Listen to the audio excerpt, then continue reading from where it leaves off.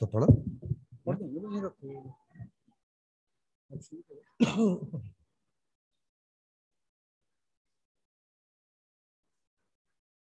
बार मोहम्मद वाले मोहम्मद सलवात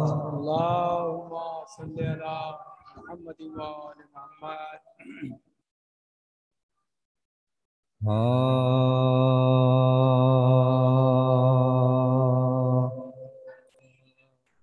इस्लाम का चिराग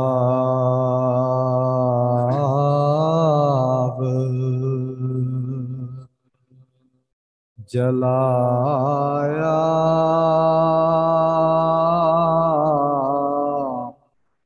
हुसैन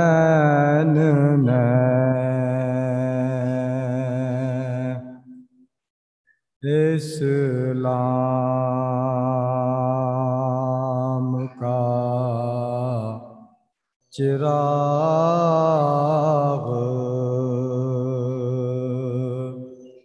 जलाया।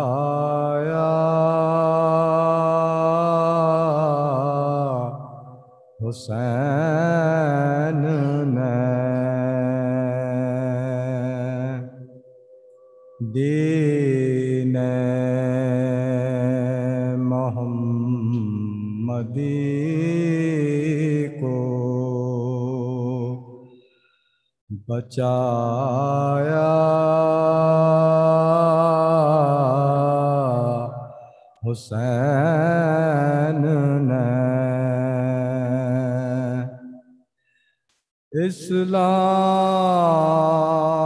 सो रहा था। हमेशा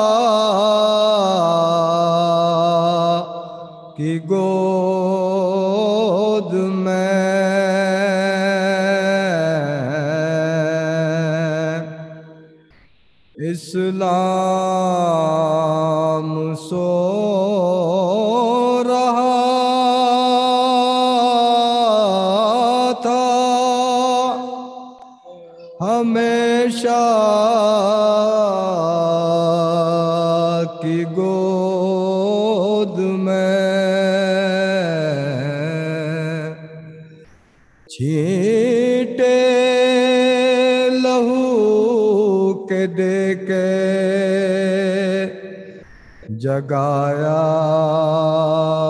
हुसैन ने।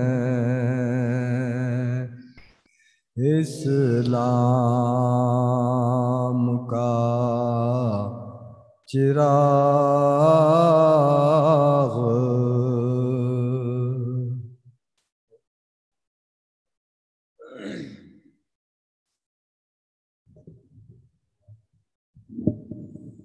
नारे अला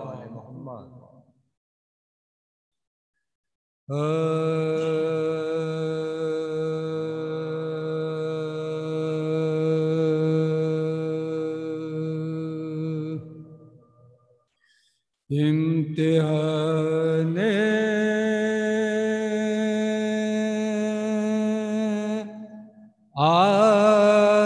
आशिकी।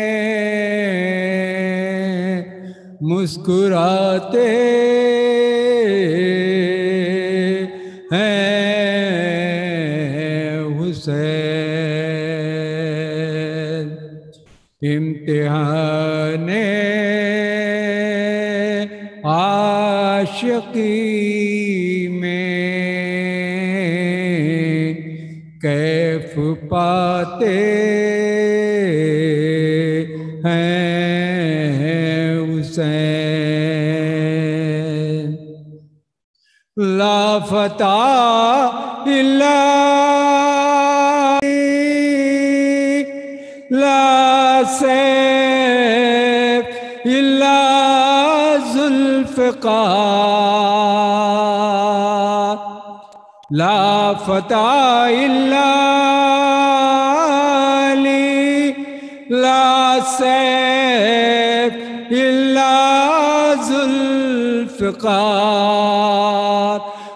पढ़ते जाते हैं फरेशते बढ़ते जाते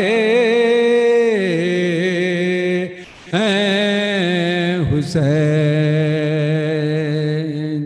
इंतहाई मुश्किलों।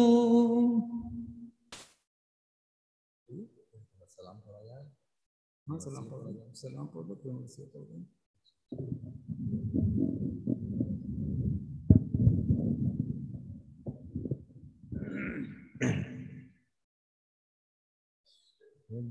होता सही।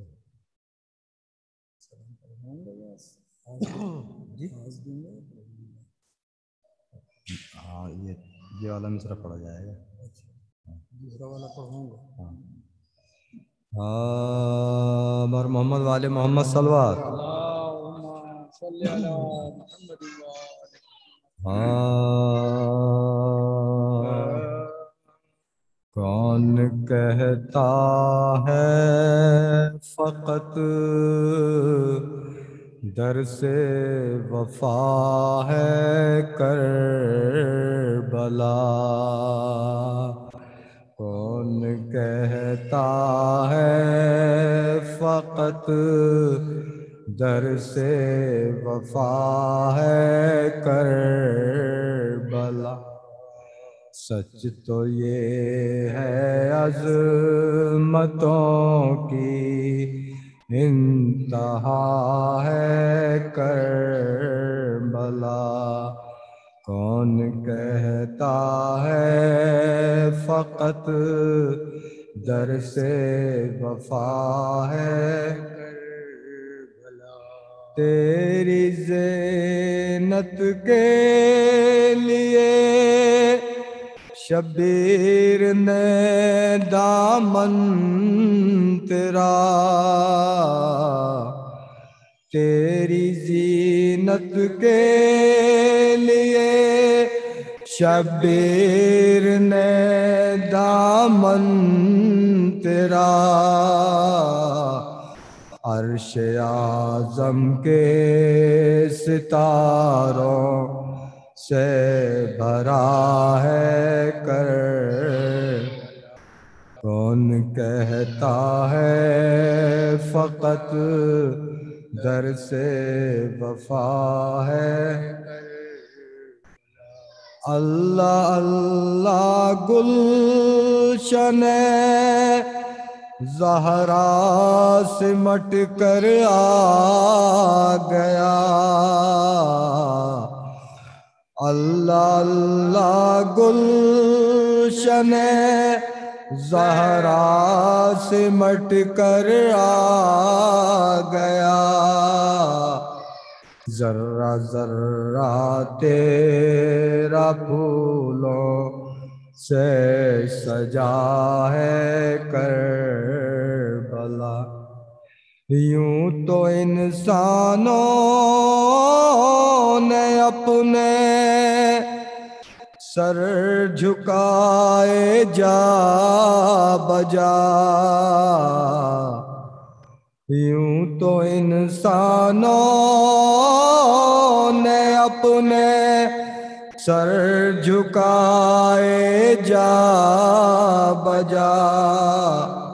दिल मगर सबका तेरे आगे झुका है कर भला कौन कहता है फकत दर से वफा है मशाले राहे हिदायत।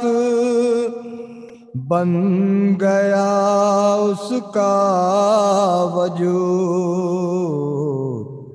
ये हकीकत है कि सब की रहनुमा है कर बला कौन कहता है फकत दर से वफा है कर। ढूंढते फिरते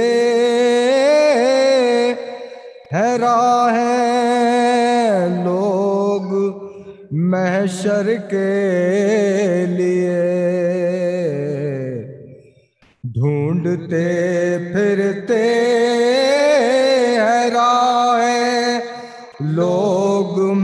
महशर के लिए।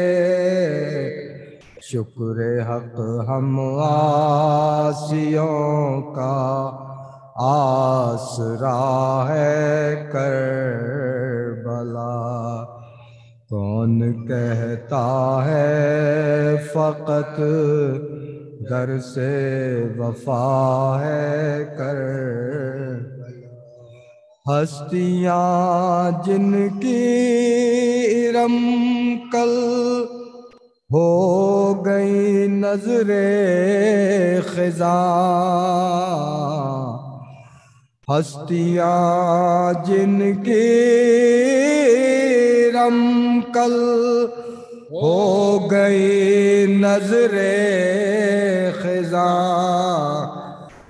उनका दिल ही जानता है बस के क्या है कर बला कौन कहता है फकत दर से वफा है कर बला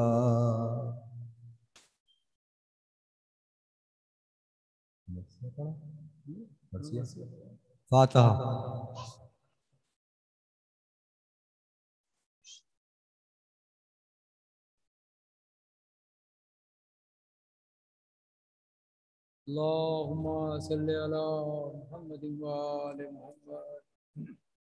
हाँ, जब चमन खाक में अकबर की जवानी कामिला जब चमन खाक में अकबर की जवानी, पानी पानी कहा और कतरा न पाने। दाग सैदानियों को अहमद साने। कामिला रन में शय को न पता बानो के जाने। कामिला रन में शय को न पता बानो के जाने। रो रो कहते थे, न ताकत है न बीनाई। बेटा मारा गया और आलम तन बेटा मारा गया और आलम तन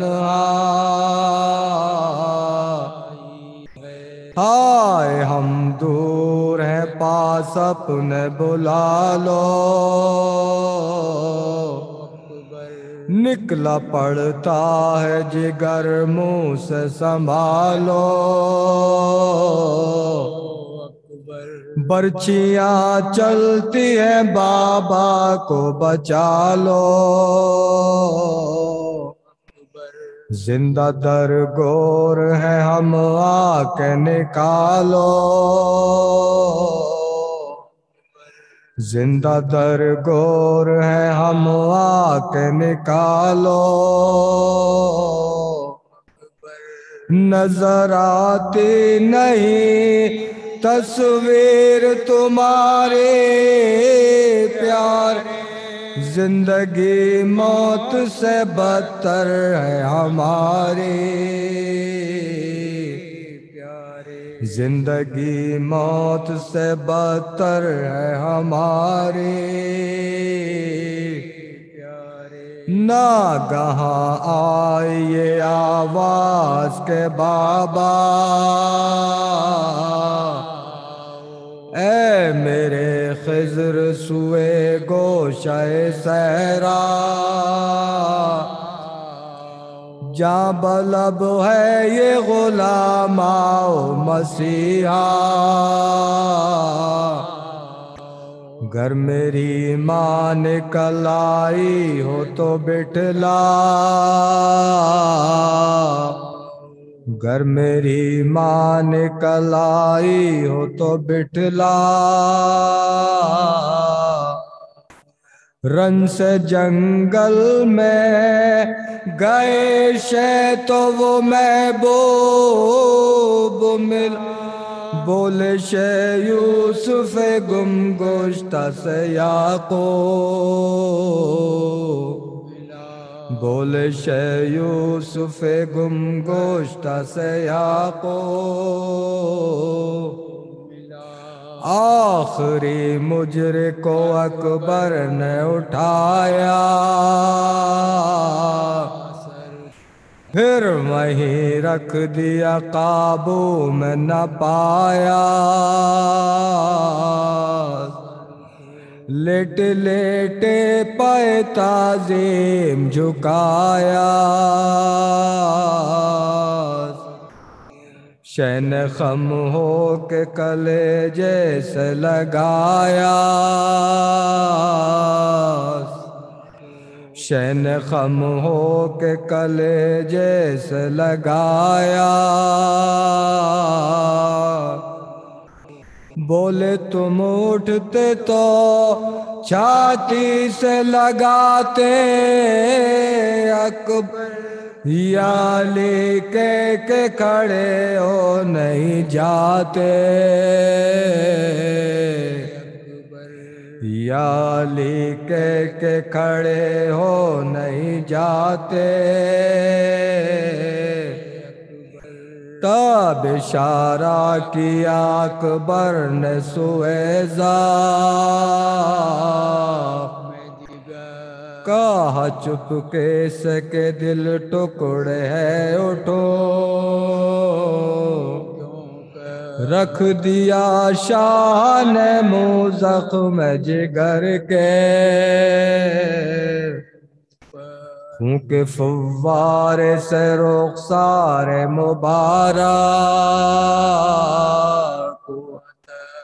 मुबारक फूके फुवारे से रुखसारे मुबारक।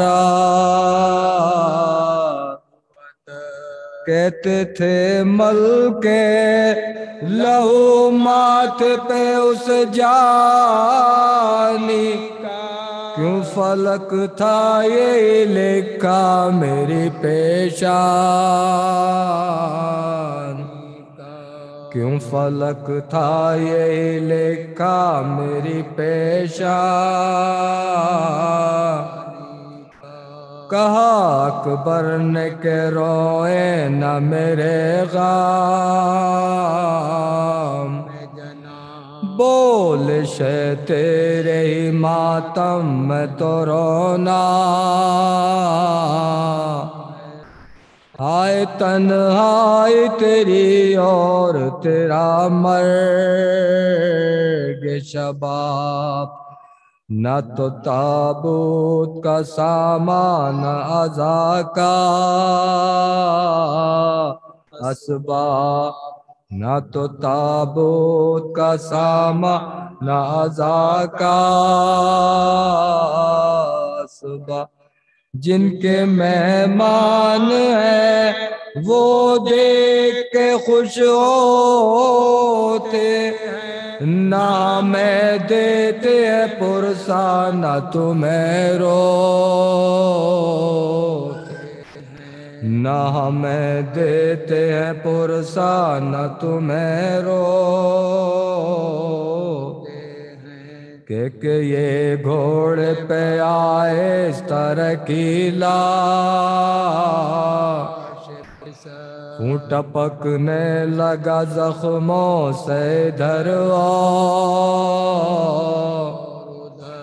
नंगे सर लाश के पहलू में चले पे। बाग पकड़े हुए सरखम किए जहरा।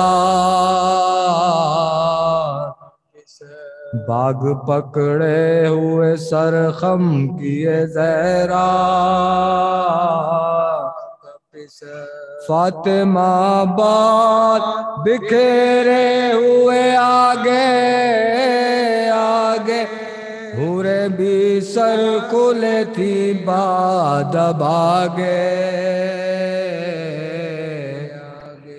जब चमन खाक में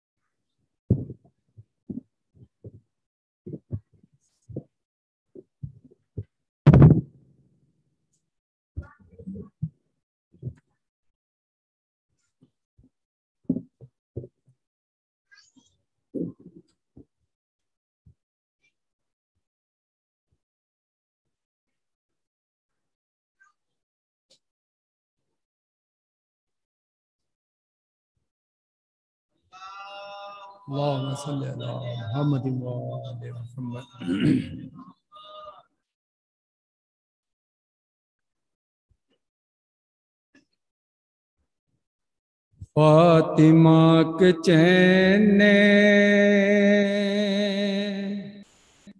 अली के नूर ने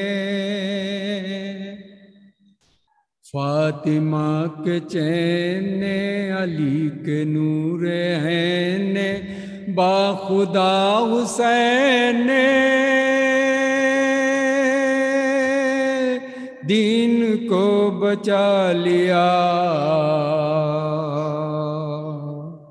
फातिमा के चैन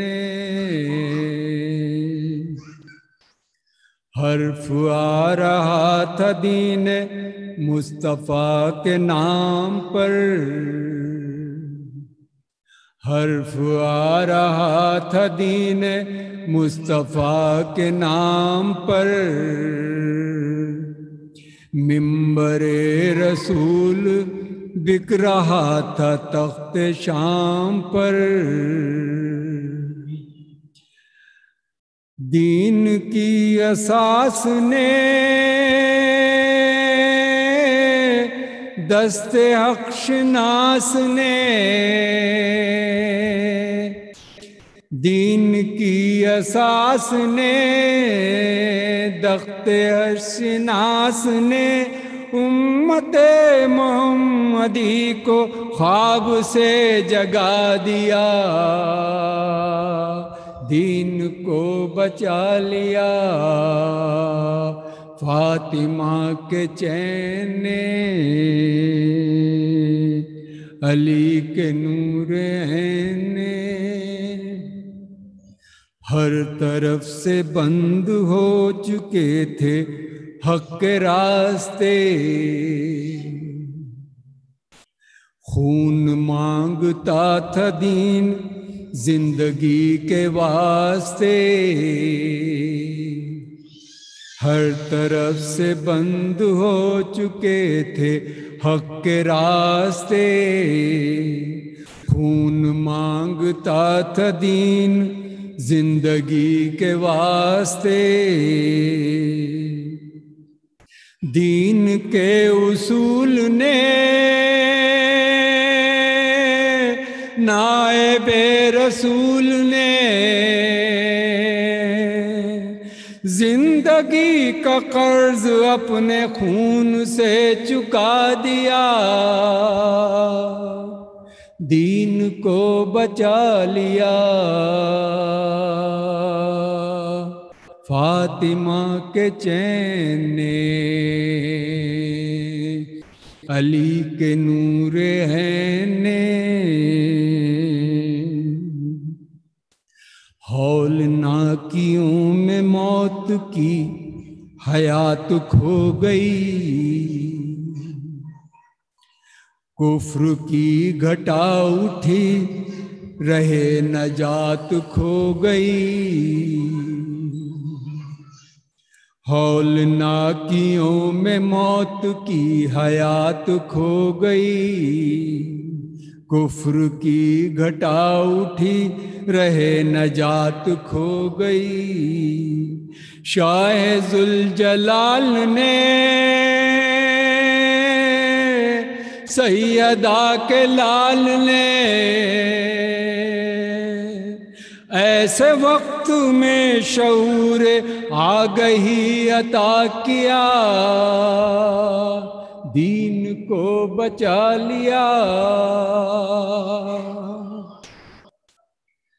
मीर शाम बन गया था, सांप आस तीन का। खुसरवी के सर पर रख रहा था ताज दीन का। मीर शाम बन गया था, सांप आस तीन का। बा खुसरवी के सर पे रख रहा था ताज दीन का। बादशाह दीन ने बोरिया नशीन ने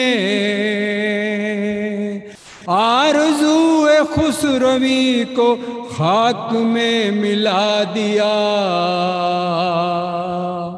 दीन को बचा लिया। फातिमा के चैन। फिर से शिरक की तरफ़ पलट न जाए आदमी। राह मुस्तकीम से भटक न जाए आदमी। फिर से शिरक की तरफ़ पलट न जाए आदमी। राह मुस्तकीम से भटक न जाए आदमी। शाह तशन काम ने वक्त के इमाम ने हक की राह पर लहू सेक दिया जला दिया। दीन को बचा लिया। फातिमा के चैन ने अली के नूर ने बढ़ते बढ़ते बात जब उसूल दीप आ गई।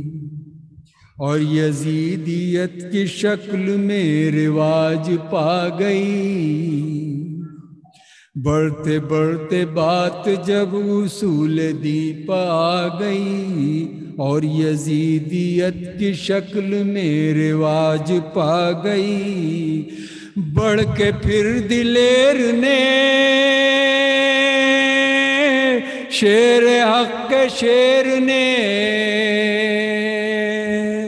दोपहर में तख्त ताज, कसर शाम ढा दिया।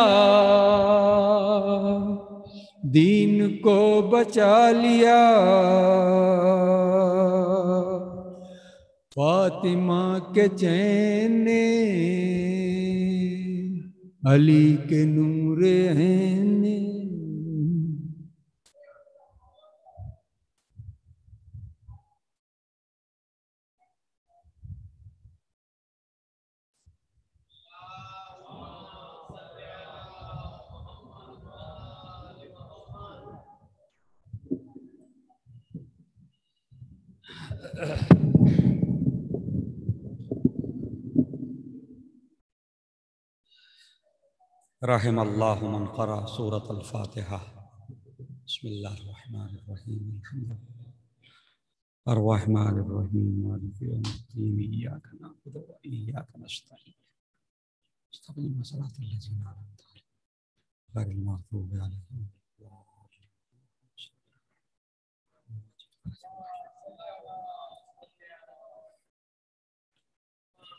ला हौल वला कुव्वत इल्ला बिल्लाहिल अलीय्यिल अज़ीम। अऊज़ु बिल्लाहि मिनश शैतानिर रजीम। बिस्मिल्लाहिर रहमानिर रहीम। अल्हम्दुलिल्लाहिल्लज़ी हदाना लिहाज़ा वमा कुन्ना लिनहतदिया लौला अन हदानल्लाह लक़द जाअत रुसुलु रब्बिना बिल हक़। अस्सलात वस्सलाम अला अशरफिल अंबिया वल मुरसलीन मौलाना व मौला सकलैन जद्दिल हसन वल हुसैन अबिल कासिम मोहम्मद अलैहि मोहम्मद वाला अस्सलात वस्सलाम अला अहले बैतिही अत-तय्यबीन अल-मासूमीन अलमज़लूमीन अलमुंतजबीन अलमुंतखबीन वलानतुल्लाह अला आदाइहि मजमाइन मिन लैलतना इला क़याम यौमिद्दीन अम्मा बाद फ़क़द क़ाल अल्लाह सुब्हानहु व तआला फ़ी किताबिहिल करीम व फ़ुरक़ानिहिल हमीद व क़ौलुहुल हक़ बिस्मिल्लाहिर वलअस्र इन्नल इंसान लफ़ी खुस्र इल्लल्लज़ीना आमनु व अमिलुस्सालिहात व तवासौ बिल हक़ व तवासौ बिस्सब्र सलावत पढ़े मोहम्मद अज़ान ग्रामी ये खमसा मजालिस जो मुसलसल तीन साल से कायम है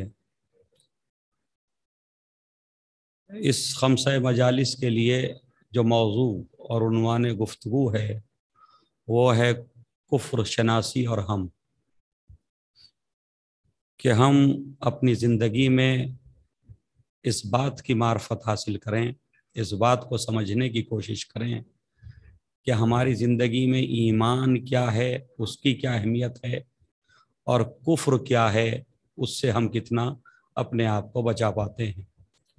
लिहाजा इस मौजू के उनवान से इस उनवान पर गुफ्तु करना है और एक उनवान और है और वो ये है कि अखलास फ़िल यानी अमल में इंसान को मुखलिस होना चाहिए।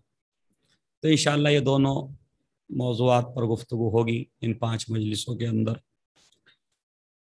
इसीलिए मैंने इस उनवान के तहत बहुत सी आयात और बहुत सी रिवायात हदीस और फ़रामी ने मासूमीन अलहमसलाम पे नज़र की। लेकिन जो एक मुकम्मल तफसीर नज़र आई ईमान और कुफ्र के सिलसिले में, वो इस सूरे से बेहतर दूसरी कोई तफसीर नहीं मिल सकती। कि जिसमें इरशाद रब्बुल्ज़त हो रहा है, वल असर इंसान लफ़ी खुसर। के ज़माने की कसम, असर की कसम इंसान नुकसान में है। अब इसके भी थोड़ा सा तफसीरी एतबार से ज़रूरत है इस बात की कि पहले कुछ अल्फाज की शरह कर दी जाए, क्योंकि हम अरबी दा नहीं हैं, हमारी ज़बान अरबी नहीं है। और जब तक हम कुछ अल्फाज की वजाहत नहीं करेंगे, उस वक्त तक जो है हमारी समझ में मफाहिम सही तौर पर नहीं आ पाएँगे। सलाह पढ़े मोहम्मद वाले मोहम्मद। तजान गिरामी, ये वो सूरा है कि जिसमें ईमान का भी तस्करा हुआ और अलामत ईमान का भी तस्करा हुआ। ईमान की भी गुफ्तु की खुदावंद आलम ने और सिफात ईमान की भी गुफ्तु की। लिहाजा मैंने यही समझा कि क्योंकि ईमान और कुफ्र दो ऐसे जुमले हैं या दो ऐसे लफ्ज हैं हमारे यहाँ कि जिनको जो एक सरासरी मफहूम उसका होता है वह हमारे अजहान में मौजूद है। कि कुफ्र के क्या माना है और ईमान के क्या माना है। लेकिन बहस तो यही है कि जब हम तफसील में जाएँगे तो फिर हमें ये देखना होगा कि हमारा कौन सा अमल ईमान के मुतालिक है, ईमान से मुनासिबत रखता है और कौन सा अमल कुफ्र से करीब है और ईमान से दूर है। सलाद पढ़े मोहम्मद वाले मोहम्मद देखिए, कुफ्र भी दो तरह का है। कुफ्र महज और एक कुफ्र है कुफ्र दर्जाती। तो फरमाइएगा? एक है कुफ्र महज, कि उसमें कोई दर्जों की बहस नहीं है। वो कुफ्र क्या है? तोहीद का इनकार करना, खालिक कौन मका का इनकार करना, और साथ में रिसालत नबुवत का इनकार करना और क़यामत का इनकार करना। ये कुफ्र महज है। अब इसमें कोई गुंजाइश बाकी नहीं है। कि जी हम इसमें कोई शक निकाल सकें कि जी नहीं, ये जो हालात हैं, ये कुफ्र के हालात नहीं है। और वो हम सभी जानते हैं और सभी उसको पहचानते हैं। कोई ऐसा मसला भी नहीं है कि उसे हम नहीं पहचानते। जब किसी से पूछा जाए कि कुफ्र क्या है तो यही कहेगा कि अल्लाह पे ईमान न रखना, अल्लाह के भेजे हुए अम्बिया और रसूलों पे ईमान न रखना और साथ में आखरत का जो एक पूरा सिलसिला है योम हिसाब उस पर यकीन न करना, ये कुफ्र है।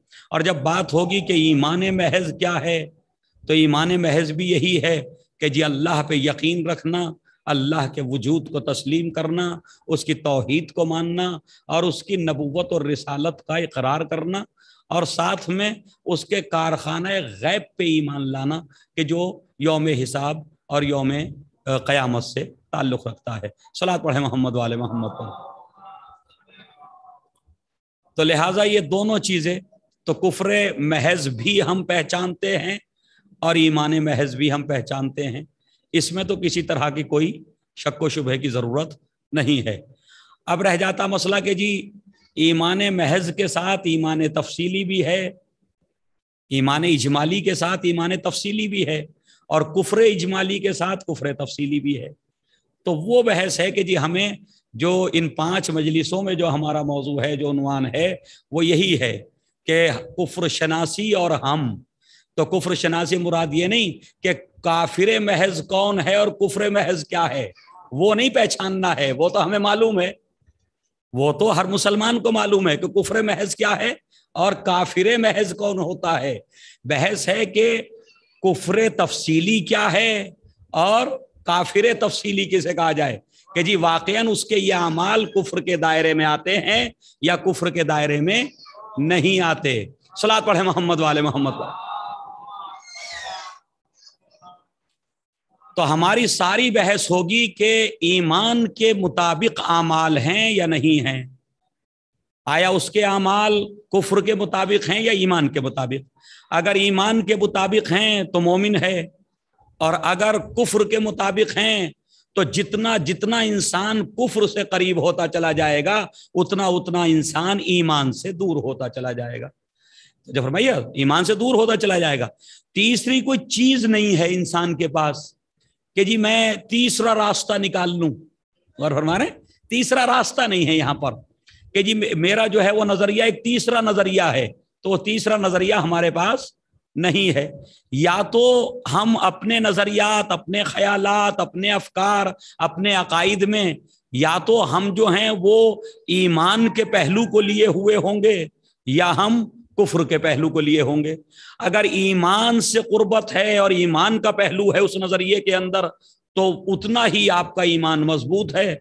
और अगर वो कुफ्र से करीब है नज़रिया, वो अकीदा और वो ख्याल तो उतना ही आप कुफ्र से करीब हैं ईमान से।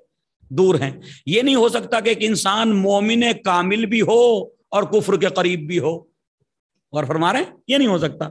और ये भी नहीं हो सकता कि एक इंसान काफिर महज भी हो और ईमान के करीब भी हो। और फरमा रहे तो हमें ये देखना है कि हमारी जो अपनी हालत है अमली ज़िंदगी में, हम किस जगह खड़े हैं। और एक बात और जहन में रखिए कि मोमिन महज भी कोई नहीं हो सकता और काफिर महज भी कोई नहीं हो सकता। सलात बड़े मोहम्मद वाले मोहम्मद और फरमा रहे अच्छा अब ये जब कड़वी बातें आएँगी और तलख गुफ्तगु होगी तो लामुहाला उस पर थोड़ा सा हमें, उसे हमें सोचने और समझने के लिए हम वो गुफ्तगु करेंगे।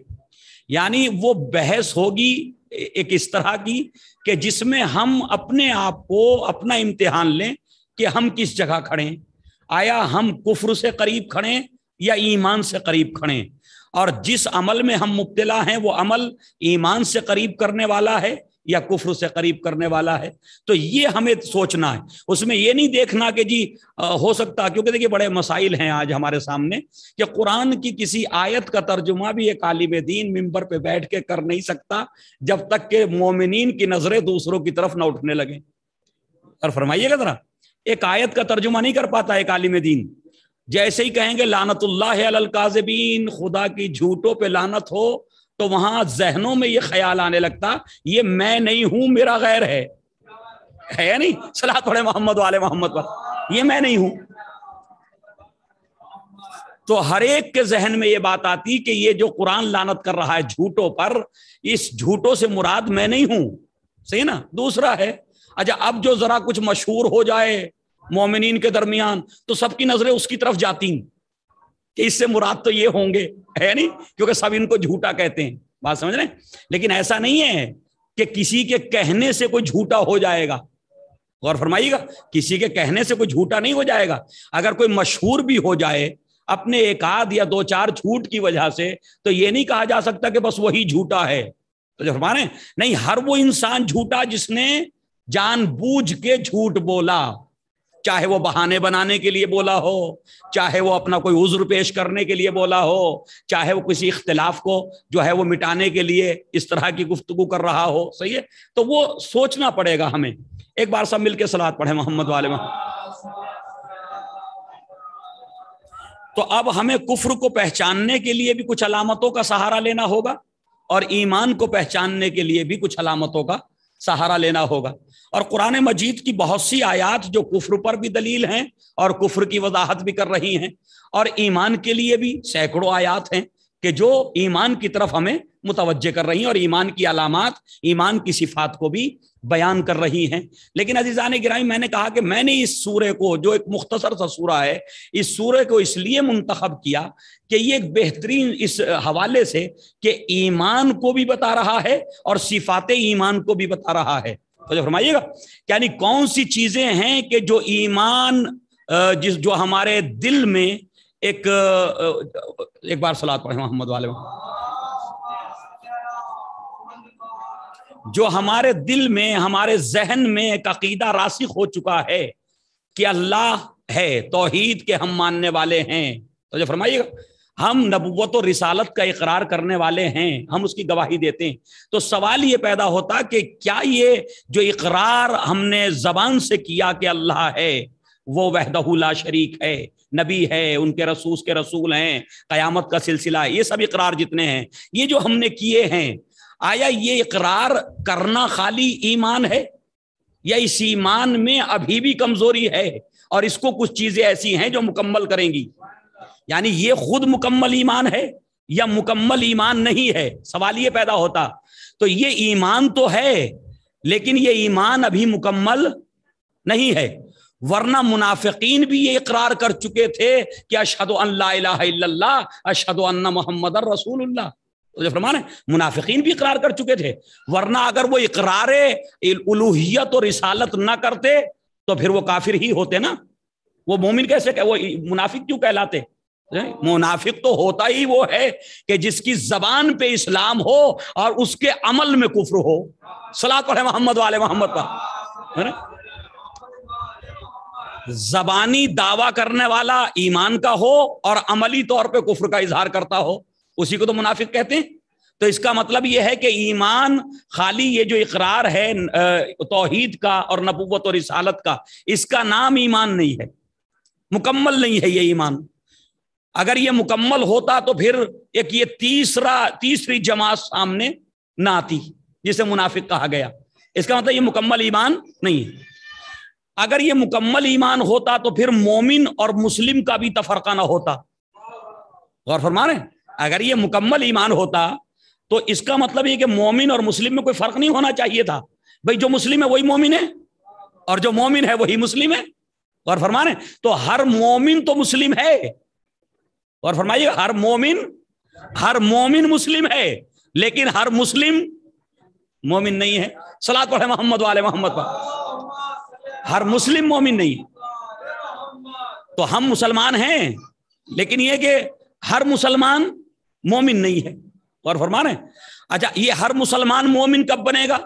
ये उस वक्त बनेगा कि इकरार बिल्लिसान भी करे, दिल से तस्दीक भी करे और आजाओ जवाहरे के साथ उसका इजहार भी करे कि वो मोमिन है। तो जो फरमाइएगा, उसका इजहार भी करे। और ये आजाओ जवाहरे के ज़रिए जो इकरार करना है, जो इजहार करना है अमाल के ज़रिए, यही है अलामत ईमान। और फरमा रहे यही है जो दुनिया वालों को बताएगा कि ये मोमिन है या ये मुनाफिक है या ये काफिर है। अगर अमल की मंजिल में मोमिन है तो इसका मतलब जो जबान से कहा था, वो सही था। उसमें ये सच्चा है। और अगर अमल की मंजिल में मोमिन नहीं है तो जो जबान से कहा था वो सच नहीं था, वो झूठ बोल रहा है। तो जो वो झूठा दावा है। तो इन्हीं दोनों को मिलाने के लिए हमने इस सूर्य का इंतखाब किया, क्योंकि इस सूर्य के अंदर इरशाद रब्बुल इज़्ज़त ये हो रहा है कि वल असर इन इंसान लफी खुसर।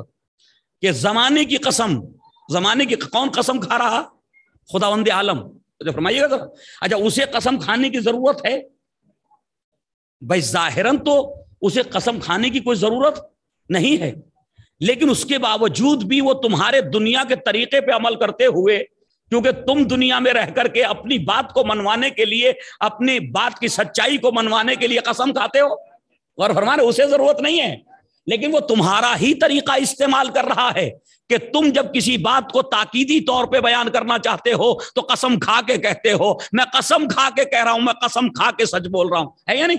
ताकि आपकी बात की सच्चाई को तस्लीम कर लिया जाए। तो आप ही के बनाए हुए उसूल को कुरान मजीद ने आपके सामने पेश किया कि मैं तुम्हारा खालिक हूँ। मुझे कसम खाने की ज़रूरत नहीं है ईमान को साबित करने के लिए कि ईमान की अलामतें क्या हैं, सिफात क्या हैं। उसके बावजूद भी मैं कसम खा के कह रहा हूँ कि जमाने की कसम तुम्हारा उसूल मैं तुम्हारे सामने रख रहा हूँ कि जमाने की कसम हर इंसान नुकसान में है। तो फरमाइएगा, हर इंसान। बहस ये नहीं कि मतलब कोई एक या दो, ये जो अलिफ्लाम है लफ्ज इंसान के ऊपर, अल इंसान। इंसान नहीं आया है अलिफ्लाम के साथ आया। तो जो फरमा रहे अलिफ्लाम कई तरह का होता।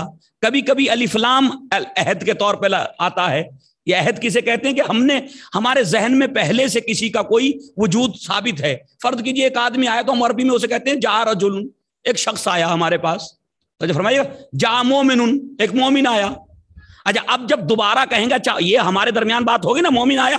अब जब उसकी बाकी बातें बयान करेंगे तो कहेंगे काल अल मोमिनो काल अल मोमिनो, मोमिन ने ये उसी मोमिन है। क्यों? अगर अब मोमिन कहूँगा तो कोई और होगा। अलिफ्लाम दाखिल कर दूँगा। तो वही जिसका ज़िक्र पहले हमारे दरमियान हो चुका है, अब उसकी बात हो रही। हर एक मोमिन की नहीं, सलाह पढ़े मोहम्मद वाले मोहम्मद। तो ये अलिफ्लाम अहद कहलाता। एक होता अलिफ्लाम ताकीद। सही है? वो ताकीद के लिए आता। वो जैसे हम कहते हैं कि लना तदया, कि हमें लौला अनहदान अल्लाह। अगर ये हमें हिदायत जो हुई है, ये क्यों हुई?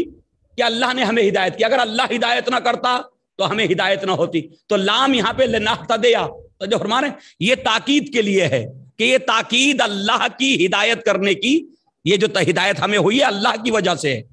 कि उसने चाहा कि हिदायत हो जाए तो हमें हिदायत हो गई। अब ये तीसरा लाम और एक और है, एक किस्म और है। और वो लाम है अलिफ्लाम जिन्स।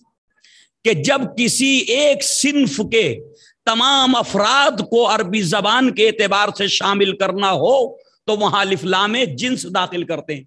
यानी पूरी जिन्स। तो जब फरमा रहे इंसान एक फर्द को भी कहेंगे, इंसान दो अफराद को भी कहेंगे, इंसान चार अफराद को भी कहेंगे। लेकिन जब हर एक फर्द को किसी हुक्म में दाखिल करना होगा तो वहाँ पर अलिफ्लाम अलिफ्लाम दाखिल हो जाएगा कलमे के ऊपर। अल इंसान। तो जब हमारे क्या मतलब? अब किसी खास इंसान की गुफ्तगु नहीं हो रही। इस इंसानियत के जितने अफराद हैं, उन सब की गुफ्तगु हो रही है। सलाह पढ़े मोहम्मद वाले मोहम्मद पर।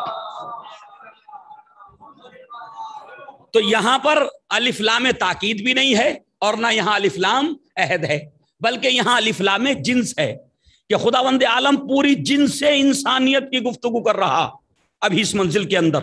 वाल असरे इन इंसाना लफी खुसर। जमाने की कसम, इंसानियत के जितने अफराद हैं, जितने फर्द हैं वो सब के सब नुकसान में। और फरमा रहे, वो सब के सब नुकसान में। यानी किसी एक फर्द को भी नुकसान से बचाया नहीं गया।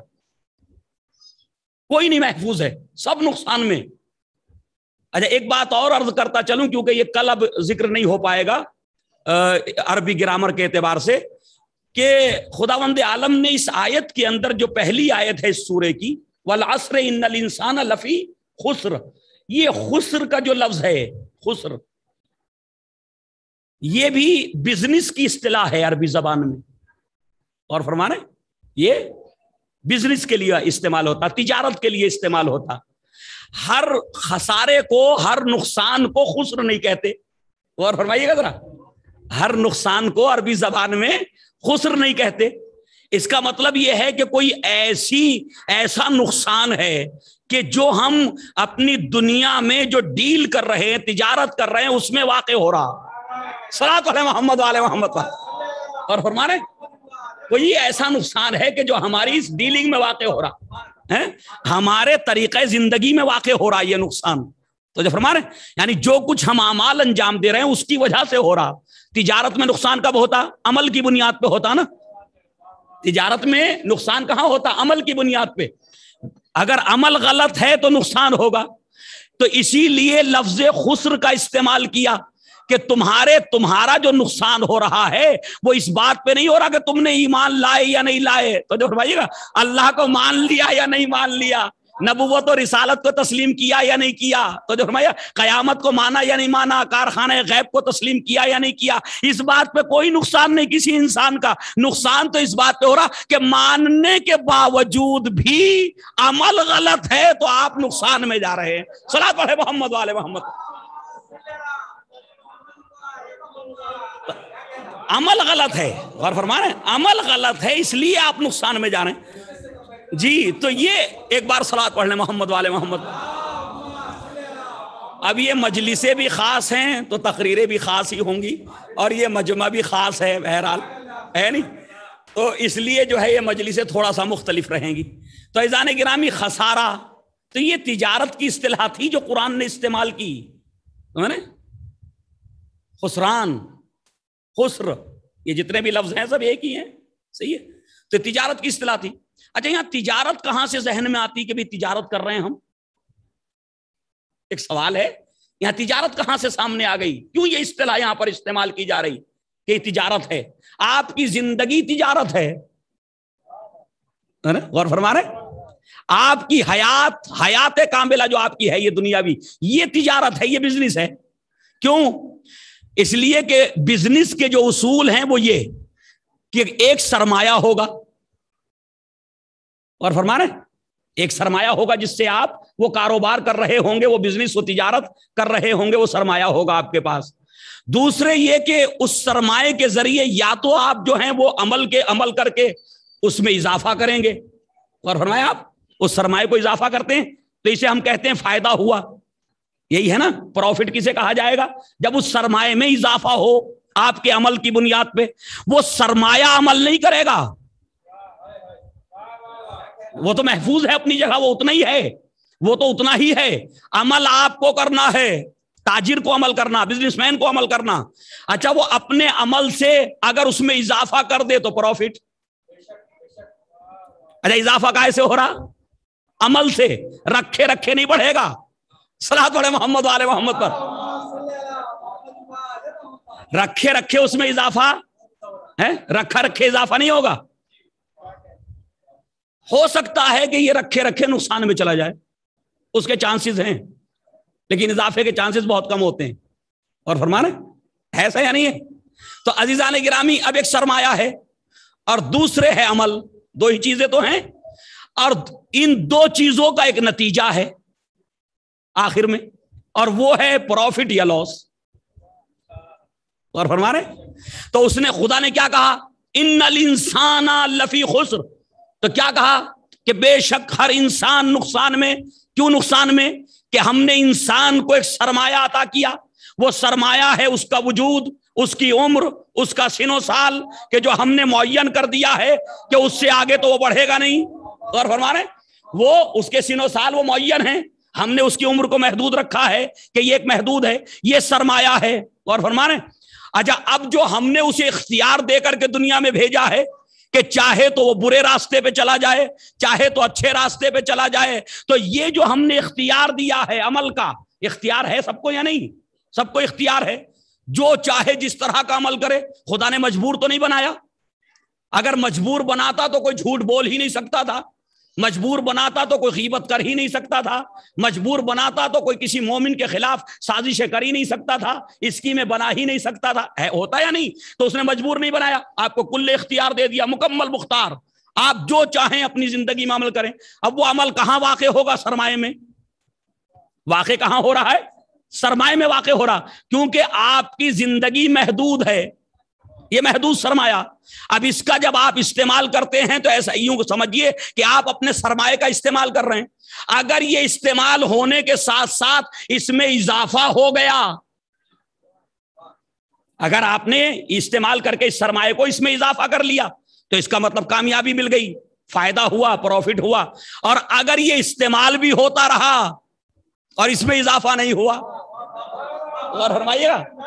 भाई, इस्तेमाल भी हुआ, इसे यूज़ भी किया। तो जब फरमाइएगा, लेकिन इसमें इजाफा नहीं हुआ। सही है? तो जब इजाफा नहीं हुआ तो नतीजा क्या हुआ? नुकसान। तो खुदा ने क्या कहा कि तुम अपनी तिजारत में सब नुकसान में हो। अरे तुम अपनी तिजारत में सब नुकसान में हो। क्यों? तुम्हारा सरमाया भी खत्म होता जा रहा है और प्रॉफिट भी नज़र नहीं आ रहा।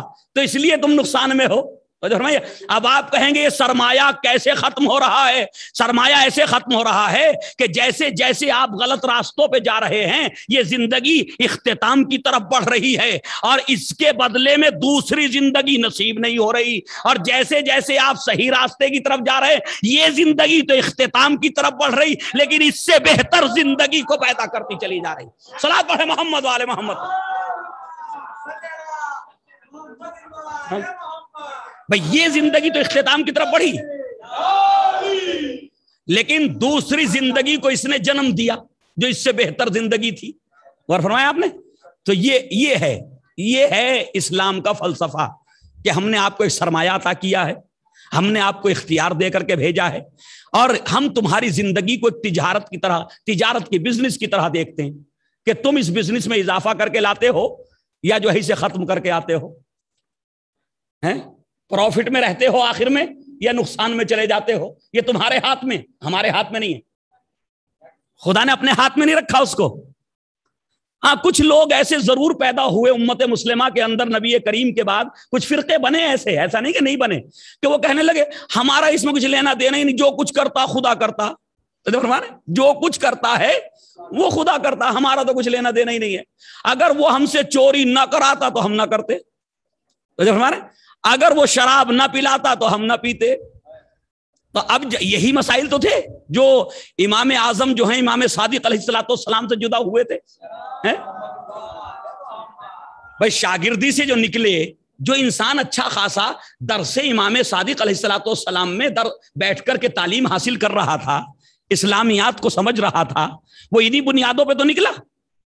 क्योंकि कुछ चीज़ें ऐसी होती कि कभी कभी इंसान की समझ में नहीं आती।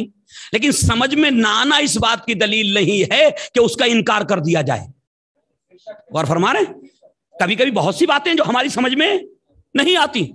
और इस इंसान की समझ में अभी आया क्या है, वो भी एक सवाल है कि इस कायनात के इतनी बड़ी कायनात के फलसफे को क्या समझेगा कि जिस कायनात में ये एक तिनके के बराबर है अपने वजूद के एतबार से। अगर परसेंटेज निकालिए तो कितनी मखलूक है इस दुनिया के अंदर?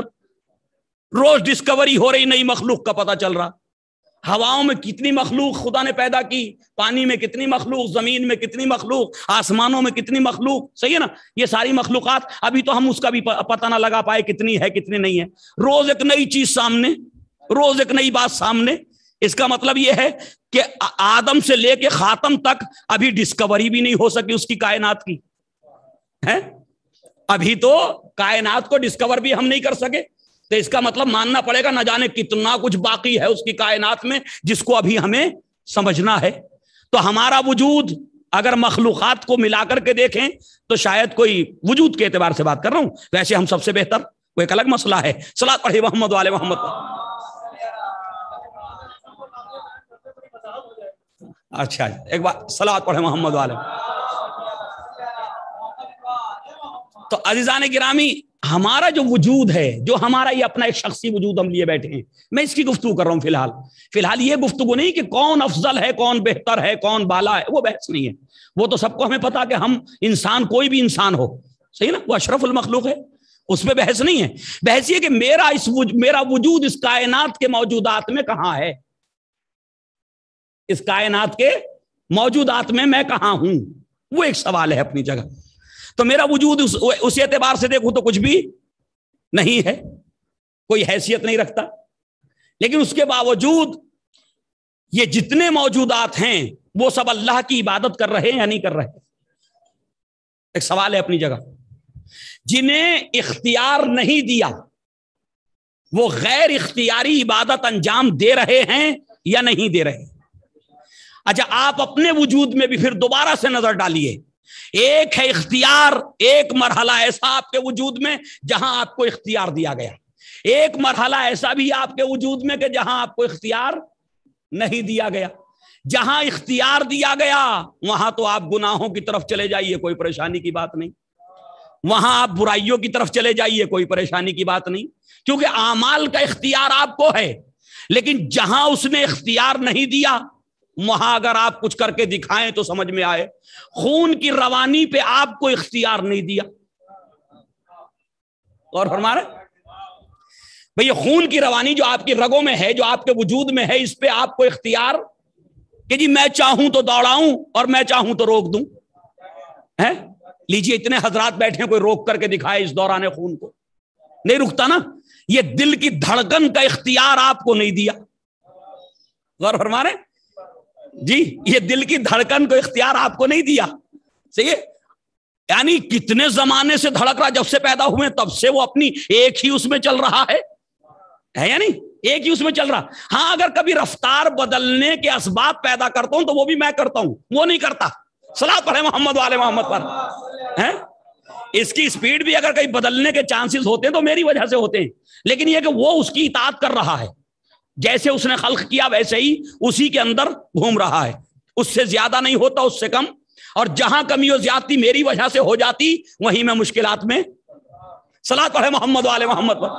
वहीं मुश्किल में गिरफ़्तार। एक बार और सलाद पढ़ ले मोहम्मद वाले मोहम्मद। तो अजीजा ने गिरामी, अब ये इख्तियार हमें नहीं दिए खुदा ने। तो हमारे नहीं दिए। आपका जहन काम कर रहा ना? आप रोकना चाहें? जी? रोक सकते हैं? इन ख्यालात के ऊपर कोई गिरफ्त बैठा सकते हैं, जो बार बार ख्याल आ रहे हैं? इन्हें मुकैद कर सकते हैं? नहीं होते। और हमारे नहीं होते। हाँ इतना इख्तियार है कि किसी बुरे ख्याल को अच्छे ख्याल में बदल लें ये है, ख्याल तो आएगा, उसकी बुराई को खत्म करके अच्छाई में तब्दील करने का इख्तियार है। लेकिन यह नहीं हो सकता कि जहन ख्यालात से बिल्कुल खाली हो जाए। है? है पॉसिबल नहीं है ना? तो ये उसने जबर की चीज़ें रखी हमारे सामने। तो जहाँ जहाँ जबर है, वहाँ वहाँ इतात खुद ब खुद हो रही है, वहाँ इतात का मुतालबा नहीं है। और फरमा रहे जहाँ जहाँ जबर है, वहाँ इतात और इबादत खुदाबंदी खुद ब खुद हो रही है, वहाँ किसी भी इबादत का मुतालबा नहीं है। किसी तरह के किसी अहकाम की तामील का मुतालबा नहीं है। तो ये चीज़ें आपकी इतात खुदाबंदी में है या नहीं है? खुदाबंदी में है। लेकिन जहाँ से आपको इख्तियार दिया गया है, गौर फरमाइएगा, वहीं से बहस आती है कि आया अब इख्तियार देने के बाद इबादत होती या नहीं होती। अच्छा जजा सजा इस वाली, इस इतात पे जो मजबूरी के तहत हो रही है। और फरमा रहे भाई, किसी मर्द मोमिन के जहन में एक गलत ख्याल आ गया, गलत ख्याल आ गया। लेकिन उस ख्याल को उसने अमली जामा नहीं पहनाया। गौर फरमा रहे ख्याल तो आ गया गलत, आता हमारे जहनों में भी आता आता या नहीं आता? ख्यालात गलत आए, लेकिन उसे अमली जामा नहीं पहनाया। तो क्योंकि ख्यालात का गलत हो जाना भी वो मेरे इख्तियार में था नहीं। वो एक अलग बात है कि जब वो गलत ख्याल आया तो मैं उसे सही करने की सलाहियत मुझे दी गई थी। तो जो फरमाइएगा, उसे हम सही कर सकते हैं, लेकिन मेरे इख्तियार में ख्याल का आना जाना ये नहीं था। तो जहाँ तक ये ख्यालात का ताल्लुक था, वहाँ तक जजा सजा। नाउजुबिल्ला नाउजुबिल्ला, खाकम बदहन। एक इंसान ने सोचा, कल मैं फला मर्द मोमिन को कत्ल करूँगा। सही ना? मैं फला मर्द मोमिन को कल कत्ल कर दूँगा। होता गुस्से में या नहीं? दो भाइयों में होता या नहीं? दो दोस्तों में होता या नहीं? है? बहुत ज़्यादा जब गुस्सा जो है वो हाई हो जाता तो आदमी यहाँ तक पहुँच जाता कि अगर मेरा मौका लगे तो कत्ल करो। सही जान से मार डालने की गुफ्तगु होने लगती। तो ये ख्याल आया तभी तो हुई गुफ्तगु। लेकिन उस इंसान ने किया नहीं वो काम। अब जरा गौर फरमाया वह यकतुल मोमिन मुतामदन फजा जहन्नम। कुरान कह रहा, जिसने किसी मोमिन को जानबूझ के कत्ल किया उसकी सजा जहन्नम है। वहाँ कोई रियायत नहीं। अगर जानबूझ के आमदन कत्ल किया किसी मोमिन को तो कोई रियायत नहीं, उसकी सजा जहन्नम है। खालिदन फीहा, ताकीद फरमा दी। हमेशा हमेशा के लिए जहन्नम में रहेगा। हमेशा हमेशा के लिए। तो इसका मतलब यह कि उसका ख्याल तो आया था कि कत्ल करेगा, लेकिन उसने किया नहीं, वो अमल पूरा नहीं हुआ। तो जजा मिलेगी, सजा मिलेगी, क्या हुक्म है? उसे सजा मिलेगी? नहीं, खुदा कहता नहीं दे। इस फ़िक्र पे सजा नहीं दे। तो इसका मतलब यह कि सजा और जजा खाली अकीदे पे नहीं है। भाई, अकीदा क्या है? फ़िक्र ही तो है अकीदा। और फरमा फ़िक्र ही का नाम तो है अकीदा। भाई, मेरी फ़िक्र है कि खुदा एक है, ये फ़िक्र ही तो है। इसी को अकीदे से ताबीर किया गया। फ़िक्र ही तो है कि मेरी फ़िक्र ये है, मैं ये समझता हूँ मेरा जहन ये कहता है कि नबी होना चाहिए इस कायनात के लिए, हादी होना चाहिए। अल्लाह हिदायत के सिलसिले को जारी और सारी रखे। तो इसीलिए तो नबी को माना मैंने। तो फरमा रहे कि उसका नबी होना चाहिए, जो उसके पैगाम को मुझ तक पहुँचाए और मैं उसके पैगाम को समझ सकूँ और उस पर अमल कर सकूँ। तो ईजान गिरामी, जजा सजा की मंजिल में भी अकीदा, देखिए, जरा गौर फरमाइएगा कि वो सख्त मंजिल है ये। सिर्फ़ और सिर्फ़ अकीदा। आप बात समझिएगा। सही है? क्योंकि लफ्जों में भी बड़ा वो हो जाता कभी कभी मफहूम वसी हो जाता, अगर कैद ना लगाई जाए उसके अंदर। सलाह पढ़े मोहम्मद वाले मोहम्मद पर। तो अजीजान गिरामी सिर्फ़ और सिर्फ़ अकीदा, वो निजात का बाइस नहीं। न जजा का और ना खाली और न सजा का सिर्फ़ और सिर्फ़ अकीदा। इसका मतलब यह है कि उस अकीदे के इजहार के लिए अमली ज़िंदगी होनी चाहिए कि जो इस बात पे दलील बने कि इसे सजा मिलेगी या इसे जजा मिलेगी। गौर फरमाए इसे सजा मिलेगी या इसे जजा मिलेगी? अच्छा एक चीज़ और जरा गौर फरमाइएगा। अब क्योंकि दकीक मंजिलें तो यहाँ ये चीज़ भी रख दूँ आपके सामने। जरा गौर फरमाइएगा इस बात के ऊपर कि खुदा बंद आलम ने जहाँ जहाँ कुरान के अंदर ईमान का ज़िक्र किया, जाइए, एक बार इस पे सर्च कीजिए। बहुत आसान है। आप अरबी जबान में कलमा डालिए कि ईमान कितनी जगह कुरान में आया? आमनू का लफ्ज कितनी जगह आया कुरान के अंदर? बहुत आसान है, तलाश करना। लेकिन लिस्ट आ जाएगी किस किस सूरे में किस किस आयत में ये लफ्ज आया। उसी से मिली हुई सारी आयात पढ़िए तो जहाँ ईमान का आमनु तो फ़ौरन आया, वो आमेल गौर फरमाइए जरा। ऐसा या नहीं जैद साहब? है? यानी जहाँ भी आया, जब कहा आमनु ईमान लाए, वो लोग ईमान लाए। फ़ौरन आया वो आमिल सालेहात। और उन्होंने अमाल सालेहा किए। इसका मतलब अकीदा खाली अकीदे पे कुरान ने मुसलमान को छोड़ा नहीं। है? कि जी, फ़िक्र तो बहुत अच्छी है आपकी, लेकिन खाली फ़िक्र के अच्छे होने से कुछ होगा नहीं। सलाद वाले मोहम्मद वाले मोहम्मद वाले फ़िक्र की अच्छाई से खाली कुछ होगा नहीं। अब होता क्या? देखिए, उस फ़िक्र की अच्छाई देखिए। जब आप एक कोई कौमी तौर, कौम के लिए कोई अच्छा एक प्रोजेक्ट बनाए, एक अच्छा काम करने के लिए निकले तो फ़िक्र में कौम का हर फर्द शामिल हो जाता। होता या नहीं होता?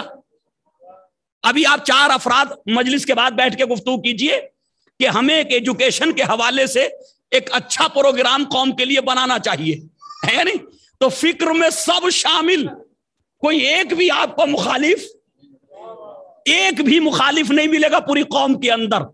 मजदूर से पूछिए रक्षा चालक से पूछिए, लेबर तबके से पूछिए कि कौम के बच्चों की तालीम के लिए कोई ऐसा प्रोग्राम होना चाहिए नहीं। वो कहेगा, जी, होना चाहिए, हमारे बच्चों की भी ये ज़रूरत है। सही है ना? अरे एक अमीर से पूछिए, साहेब दौलत से पूछिए, जिसका एक स्टेटस है, एक मंजिलत है, मकाम है, उससे पूछिए, वो भी कहेगा, जी, होना चाहिए। लेकिन जब बहस आएगी कि ये होना कैसे चाहिए, इसे अमल में कैसे लाया जाए? इसे रूए ज़मीन पे कैसे उतारा जाए? ये जो जहन में है, इसे जो है वो ज़मीन पे कैसे आना चाहिए? यहाँ आकर के इख्तिलाफ शुरू हो जाएगा। तो फरमा रहे इसका मतलब फ़िक्र में सब मुतहिद हैं। और फरमा रहे फ़िक्र में तो सब मुतहिद हैं, लेकिन ये फ़िक्र किसी अमल को वजूद में ला नहीं सकती, जब तक कि हम उसे अमल में लेकर के ना आए। तो वो हमें काम करना होगा। ऐसे तो फ़िक्र वजूद में नहीं आएगी। सलाह पढ़े मोहम्मद वाले मोहम्मद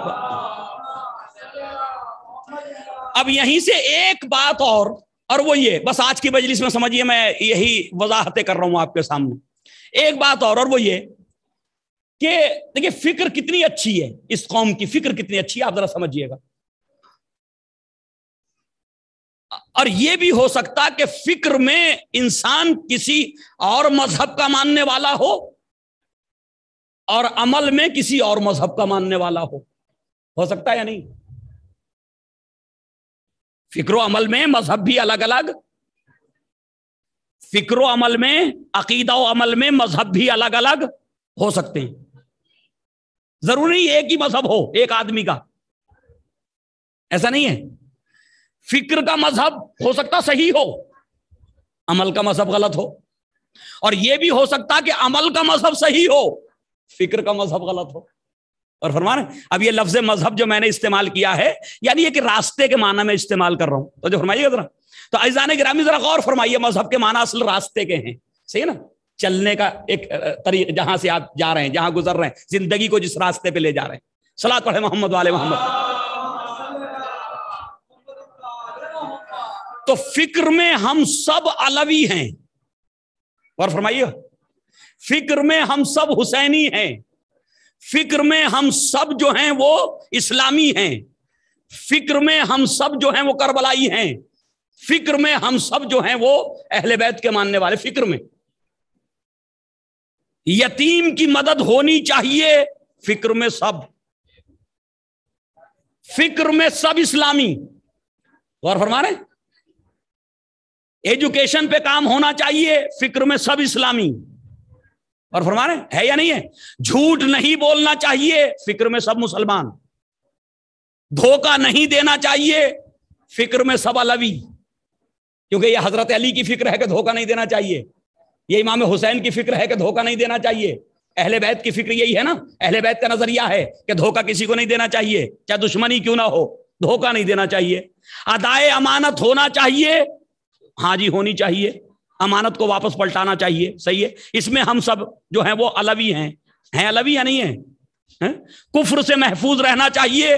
फ़िक्र में अलवी हैं। लेकिन उसके बाद जब झूठ बोलते हैं तो फ़िक्र तो अलवी है। अब जब मैदान अमल में आए तो झूठ बोला तो तो मज़हब अलवी नहीं है। फ़िक्र का मज़हब अलवी है।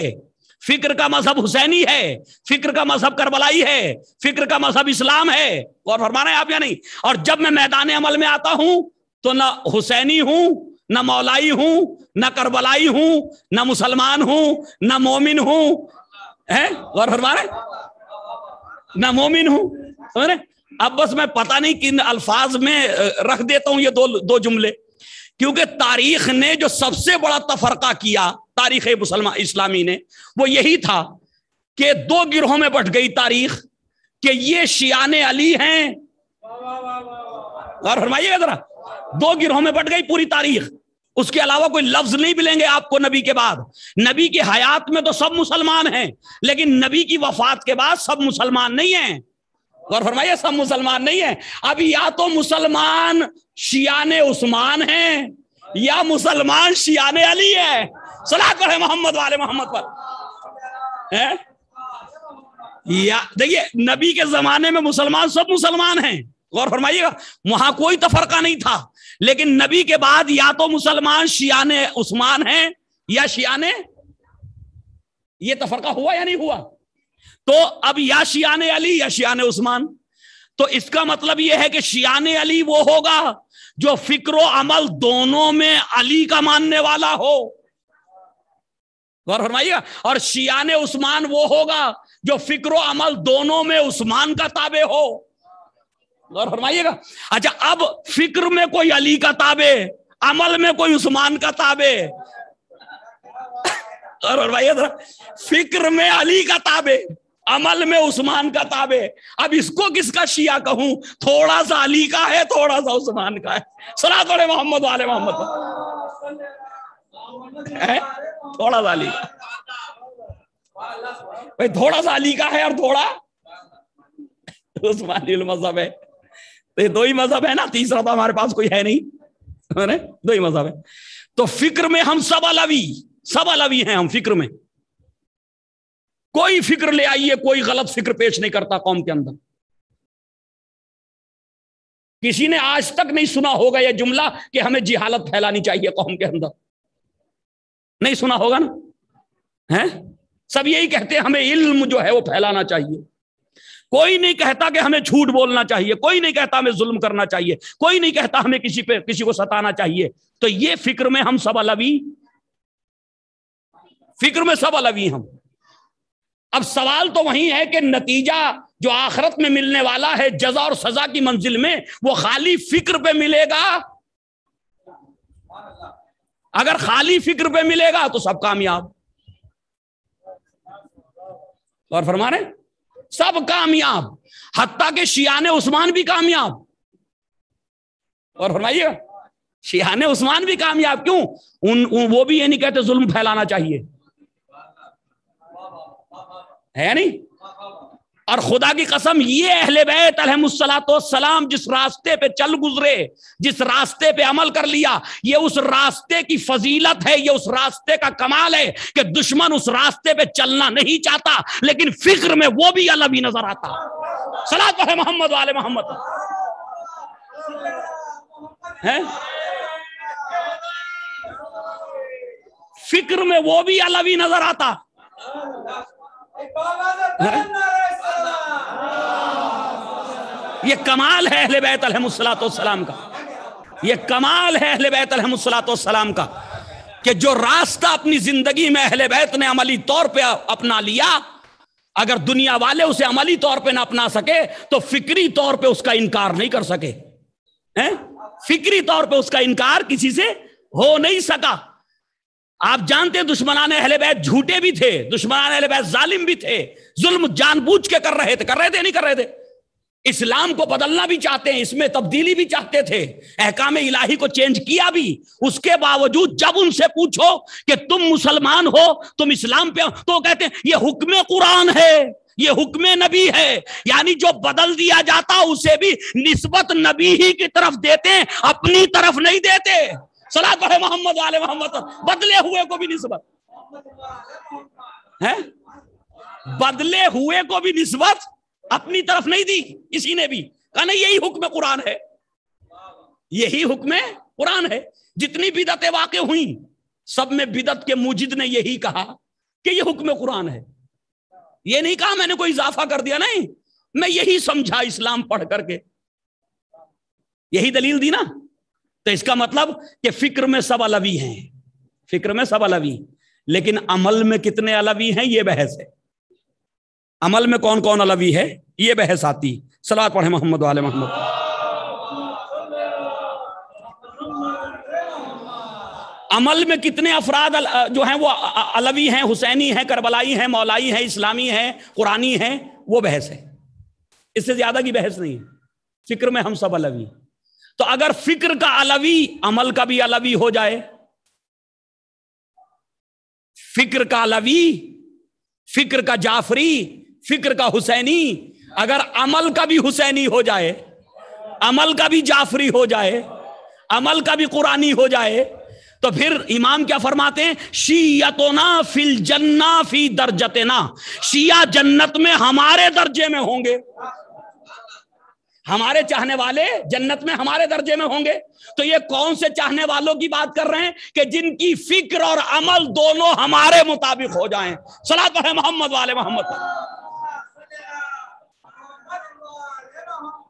दोनों हमारे मुताबिक हो जाएँ तो हमारे दर्जे में होंगे। क्यों? जो हमारी फ़िक्र थी वही उनकी फ़िक्र। जो हमारा अमल था वही उनका अमल। तो इसका मतलब अकीदा खाली निजात का ज़रिया नहीं। खाली अकीदा, निजात का ज़रिया नहीं। अकीदे के साथ अमल का होना ज़रूरी है निजात याफ्ता होने के लिए। एक बार सलावत पढ़ लें मोहम्मद। अब आइए, जो बात मैं आपके सामने कर रहा था, कहाँ बात निकल गई। तो आमनु, कुरान कह रहा कि अब नुकसान से बचा रहा है कुरान, खुदावंद आलम, के बचने के तरीके क्या हैं नुकसान से? हर इंसान नुकसान में है ना? सूर्य वलास्त्र के एतबार से। हर इंसान कोई भी इंसान हो सब नुकसान में है। लेकिन अब सवाल तो ये पैदा होता मेरे माबूद तू खाली है इंसान है? तू ही बता कि इस नुकसान से बचें कैसे? इस नुकसान से बचे कैसे? कैसे हम फ़ायदे में आए हैं अपनी ज़िंदगी में? तो इर्शाद आमनु इल्लजीन आमनु सिवाय उन लोगों के, के जो ईमान ले आए। यानी इसका मतलब सब नुकसान में थे उन्हीं नुकसान उठाने वालों में से कुछ लोग ईमान ले आए। और फरमा रहे उन्हीं नुकसान के रास्ते पे जाने वालों में से कुछ लोग ईमान ले आए। ईमान ले आए तो कुरान ने कहा कि ये बच गए नुकसान से।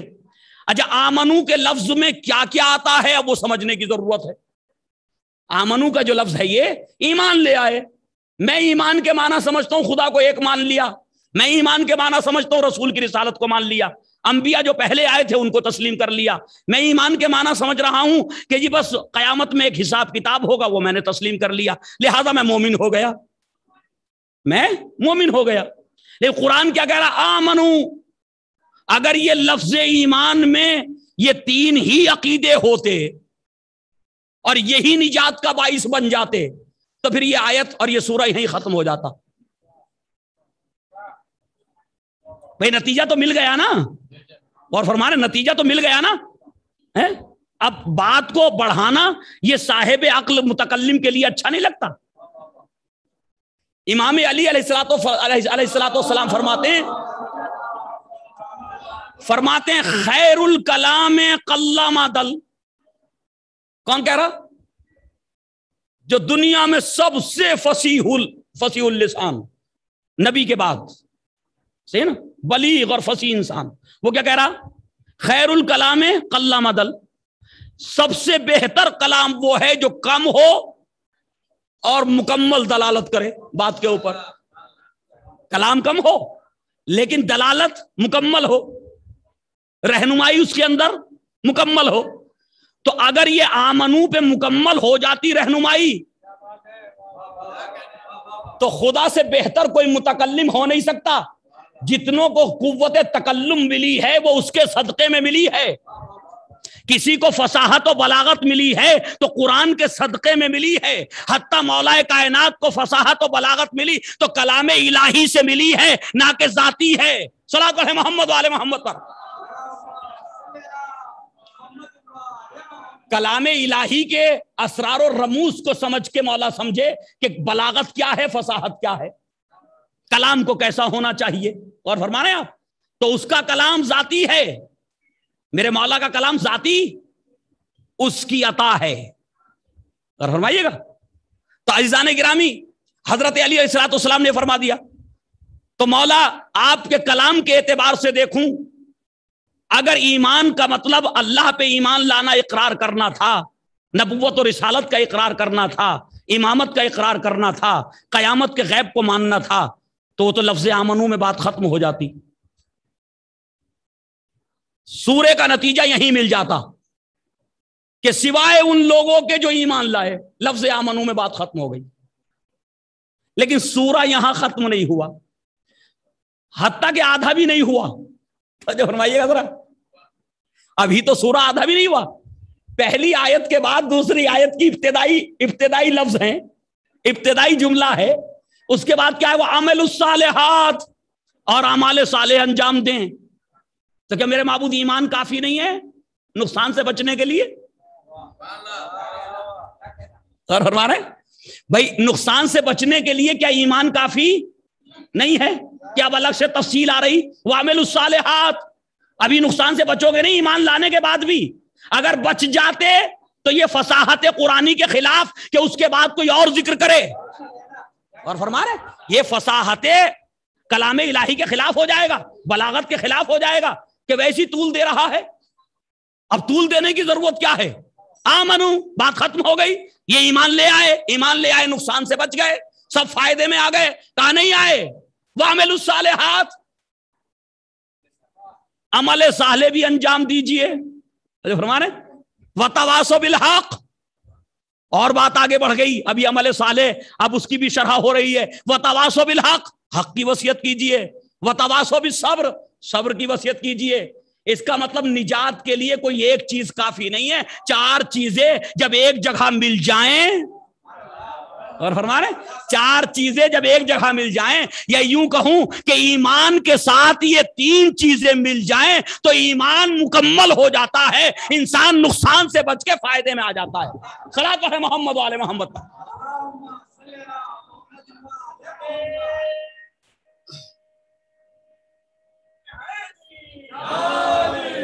तो इसका मतलब ये कि ईमान मुकम्मल कब होगा? अमल साले से। ईमान मुकम्मल कब होगा? वतवासो बिल हक हक की वसीयत से। ईमान मुकम्मल कब होगा? वतवासो बिल सब्र सब्र की वसीयत से। इसका मतलब ये जो इकरार बिल लिसान है, ये मुकम्मल ईमान नहीं है। ये तस्दीक बिल कल्ब जो है कि जी मैंने तस्लीम कर लिया, मेरे माबूद तो वहदहुला शरीक है, ये मुकम्मल नहीं है। ये मुकम्मल नहीं इसकी तकमील के लिए तीन चीज़ें और ज़रूरी हैं। इसी की तकमील के लिए। अब इसे चाहे आप सिफात ईमान कह लीजिए, चाहे आप अलामत ईमान कह लीजिए, चाहे आप इजहार अमल, इजहार ईमान का रास्ता समझ लीजिए, जो भी समझिए। सही? ये तीन चीज़ें ज़रूरी हैं। अच्छा कुफर के लिए नहीं कहा। यहाँ जब भी ईमान का ज़िक्र किया तो अमल साले की कैद लगाई। पूरे कुरान को उठा लीजिए। यानी ईमान खाली काफ़ी नहीं है निजात के लिए। खाली ईमान काफ़ी नहीं है। जब भी ईमान का ज़िक्र है तो अमल साहले की गुफ्तगु है। अमल साहले उस ईमान को मुकम्मल करेगा। वो नाकिस है ईमान के जो आमनू पे ठहर जाए। और कुफर के लिए कहीं नहीं कहा कि वो लोग जो जिन्होंने कुफर इख्तियार किया हुआ है उनके लिए ज़रूरी कि वो बुरे अमाल भी करें। और फरमा रहे यानी काफिर के दारो मदार अमल पे नहीं रखा। कहीं नहीं मिलेगा लजीना कफरू जो ईमान लाए, उनके लिए ज़रूरी कि वो बुरे अमाल अंजाम दे। अमल सयात अमाल सयाह करें तो हम उन्हें जो है वो काफिर कहेंगे। और फरमा रहे ऐसा नहीं है। ईमान में अमल सहले की शर्त है, कुफर में आमाले सयाह की शर्त। वहाँ कुफर ही काफ़ी है, हलाक करने के लिए। और फरमा रहे वहाँ कुफर ही काफ़ी हलाक करने के लिए। क्यों? अब अमल साले की कोई जगह रही नहीं कुफर के बाद। कुफर के बाद अब अमल साले की शर्त की कोई कोई जगह रही नहीं। क्यों? भाई, जिसने कुफर इख्तियार कर लिया तो अमल साहले किस बुनियाद पे करे? या बुरे अमल किस बुनियाद पे अंजाम दे? उसकी कोई बुनियाद ही नहीं है। क्यों? इसलिए कि जब खुदा ही को तस्लीम नहीं करता तो अमाल सालेहा कहाँ होंगे? और फरमा रहे वो कुरान पे अमल क्यों करेगा? अल्लाह की तालीमत पे अमल क्यों करेगा जब खुदा को तस्लीम नहीं किया उसने? तो इजान गिरामी, ये नज़ाकतें हैं इस्लाम की और ये नज़ाकतें हैं शरीयत की कि इन्हें हमें समझने की ज़रूरत है। ये फलसफा है इस्लाम का कि कुफर के साथ ज़रूरी नहीं कि ये देखा जाए उसके अमाल कैसे हैं। कुफर ही हलाकत के लिए काफ़ी। अब अगर कोई काफिर हो के भी अमल साहले करे तो ये चोट है मोमिन के ईमान पर। पता नहीं क्या मैं कह समझ क्या कह रहा हूँ मैं आपके सामने? है? ये जरबे कारी है मोमिन के ईमान पर कि ईमान के साथ खुदा ने अमल साहले का मुतालबा किया था, कुफर के साथ अमल सयाह का मुतालबा नहीं किया था, उसने कुफर के बावजूद अमल साले किया, इसने ईमान के बावजूद अमल साले नहीं किया। सलाह है मोहम्मद वाले मोहम्मद का। है? ये चोट है, ये जरबे कारी और फरमा रहे ये जरबेकारी है मोमिन के लिए कि काफिर अमल साले अंजाम दे। अच्छा देते हैं लोग या नहीं? एक सवाल है। कुफारो मुशरकिन में ऐसे लोग हैं या नहीं जो अमाल साले अंजाम देते हैं? हैं ऐसे लोग अफराद आपके नज़रों में है ना? भाई, इंसानियत की खिदमत। तो फरमा रहे ये एक अच्छा अमल है। इसे कोई ये तो नहीं कह सकता बुरा अमल है। अपनी बिज़नेस में, अपने बिज़नेस में, अपनी तिजारत में हमेशा सच बोलना। ऐसे ऐसे कुफार हैं या नहीं है? मुशरकिन ऐसे हैं या नहीं है? हैं? तैजान गिरामी कभी कभी उस उस, जो है वो, उस शख्स की बात याद आ जाती कि जो यूरोप की कंट्रीज़ घूमने के बाद जब आया तो उसने इस्लाम पे किताब लिखी और मुसलमानों के हालात पे। तो कहने लगा कि जी, जब मैं अरब में आया तो अरबों में मुझे मुसलमान मिले। अरबों में सब कौन है? अक्सरियत किसकी है? हुकूमतें किसकी हैं? मुसलमानों की। जब यूरोप गया तो वहाँ इस्लाम मिला। और और भाईगा जब यूरोप गया तो वहाँ इस्लाम मिला। और जब अरबों में आया तो यहाँ मुसलमान मिला। तो इसका मतलब दो अलग अलग चीज़ें हो गई। एक है इस्लाम और एक है मुसलमान। तो है ना? एक है इस्लाम और एक है मुसलमान तो उसे ऐसा क्या मिला वहाँ कि जिसको उसने इस्लाम से ताबीर किया? और ऐसा क्या मिला यहाँ जिसने उसे मुसलमान से ताबीर किया? एक सवाल तो है अपनी जगह। भाई, उसे अरबों में क्या नज़र आया कि उसने मुसलमान कहा? उसे नज़र आया मस्जिदें हैं, उसे नज़र आया नमाजें हो रही हैं, उसे नज़र आया तिलावत कलाम इलाही हो रही है। और फरमाइएगा, उसे नज़र आया तो क्योंकि ये काम कौन करेगा? मुसलमान करेंगे। और फरमाइए, ये काम मुसलमानों की ज़िम्मेदारी थी। तो उन्होंने देखा, ये मुसलमान हैं तो ये सारे काम अंजाम दे रहे हैं। लेकिन यहाँ झूठ भी है, यहाँ मकर भी है, यहाँ फरेब भी है। और फरमाइए, यहाँ धोखे, धोखा धोखा दही भी है। यहाँ जो है, वो तमाम बुरे अफाल भी मौजूद है। अमली तौर पर बुराइयाँ मौजूद हैं। लेकिन शक्ली तौर पर इस्लाम शक्लो सूरत के तौर पे इस्लाम मौजूद है उनके दरमियान। अजीजान गिरामी फिरोज हैदर साहब अल्लाह मकाम एक जुमला कहा करते थे कि जब मैं दुबई गया पहली मरतबा, जब कभी दुबई गए होंगे मरहूम, कि पहली बार जो दुबई गया, सुबह को मैंने नमाज़ के बाद एक मरतबा टीवी खोला, क्योंकि मुस्लिम कंट्री में हूँ तो जो फरमाइएगा, मुस्लिम कंट्री में हूँ, मुस्लिम मुल्क में हूँ तो यहाँ तो टीवी पे यकीनन जो कुछ होगा वो इस्लाम के हवाले से होगा। अच्छा जब पहली बार कोई जाता तो यही जहन में होता। कहते, मैंने मैंने जो है जैसी चैनल लगाया तो वहाँ कुरान की तिलावत हो रही थी। बहुत अच्छा लगा। सही है ना? कि कुरान? देखिए, हमारे यहाँ नहीं होता क्योंकि हम मुस्लिम कंट्री, हमारी नहीं है। थोड़ी देर गुजरी, दस मिनट के कुरान की तिलावत के बाद रक्कास आ गई।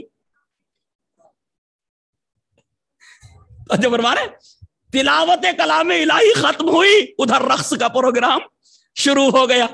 तो कहने लगे, ऐसा लगा वो मंजर देख करके जैसे कुरान जो है वो इफ्तिता कर रहा था रक्स के लिए। तो अरे सलाह पढ़े मोहम्मद वाले मोहम्मद। ओपनिंग हो रही थी उस प्रोग्राम की, कुरान के ज़रिए, है या नहीं? कुरान करीम के ज़रिए ओपनिंग की जा रही थी शैतानी कामों के लिए। तो ऐजान गिरामी, ये मुसलमान का तो तरीका नहीं है।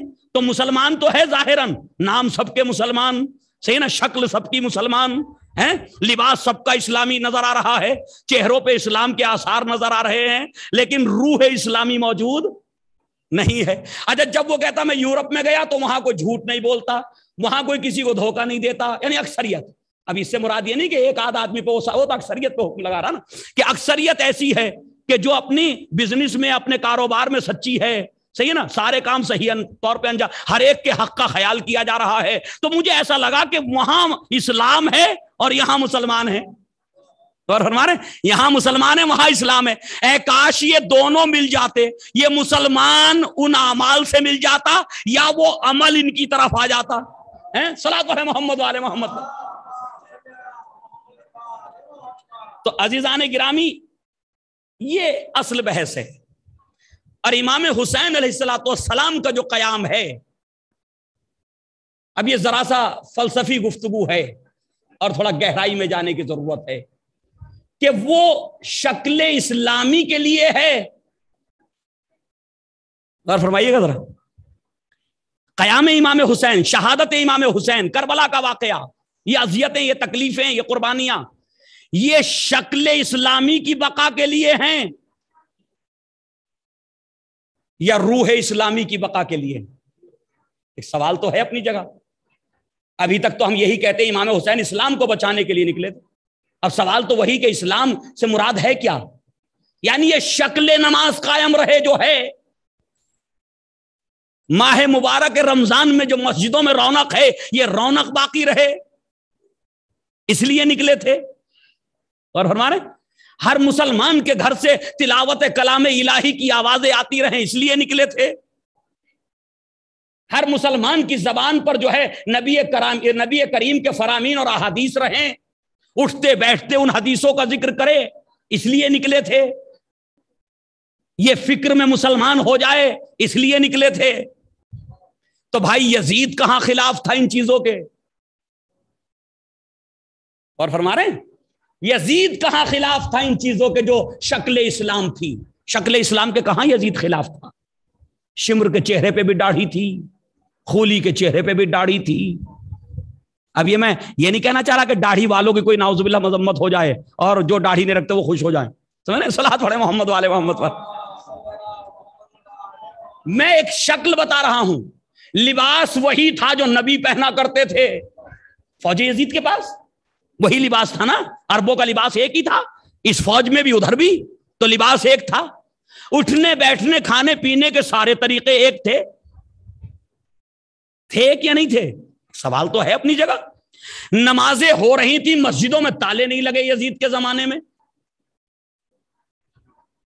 और फरमाने, कोई मस्जिद बंद नहीं हुई पूरे अरब के अंदर, हत्या शाम में, जो यजीद के घर के करीब मस्जिद थी, मस्जिद दिमश जो आज जामे मस्जिद है, वो भी बंद नहीं हुई।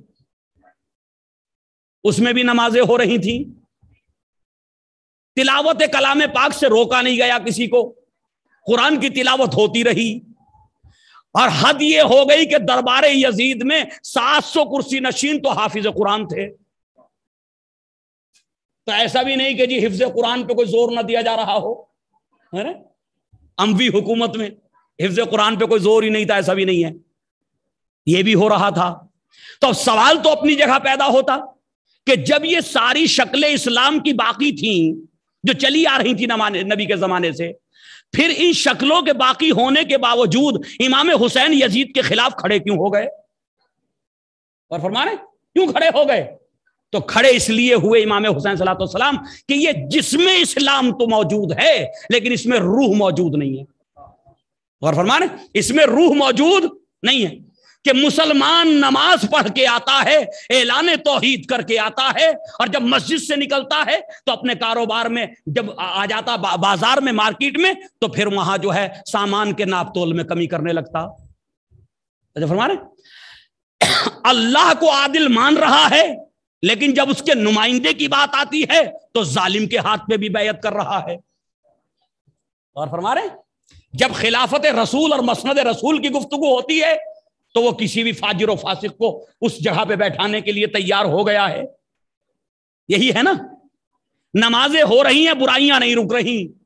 रोज़े हो, रखे जा रहे हैं, मुआशरे में इस्लाम नहीं आ रहा। तो फरमाइएगा, इनकी ज़िंदगी में इस्लाम नहीं आ रहा तो इसलिए इमाम हुसैन खड़े हुए।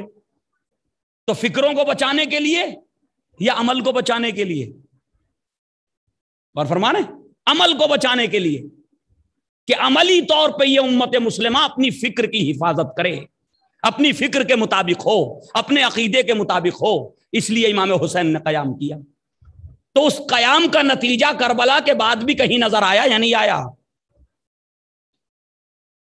या वो करबला तक ही रह गया? और फरमाने वो करबला तक ही रह गया या करबला के बाद भी आया? नहीं, करबला के बाद वो नतीजा नज़र आया। लेकिन उतने ही अफराद में नज़र आया जिन्होंने इमाम की फलसफे शहादत को समझ लिया। और फरमाने, वो उतने ही दायरे में नज़र आया, जहाँ के लोगों ने उस फलसफे को दिक्कत से पढ़ा और दिक्कत से पढ़ने के बाद फिर उसे अमल में उतार लिया। वहाँ नज़र आ गया यह फलसफा। आया नहीं आया?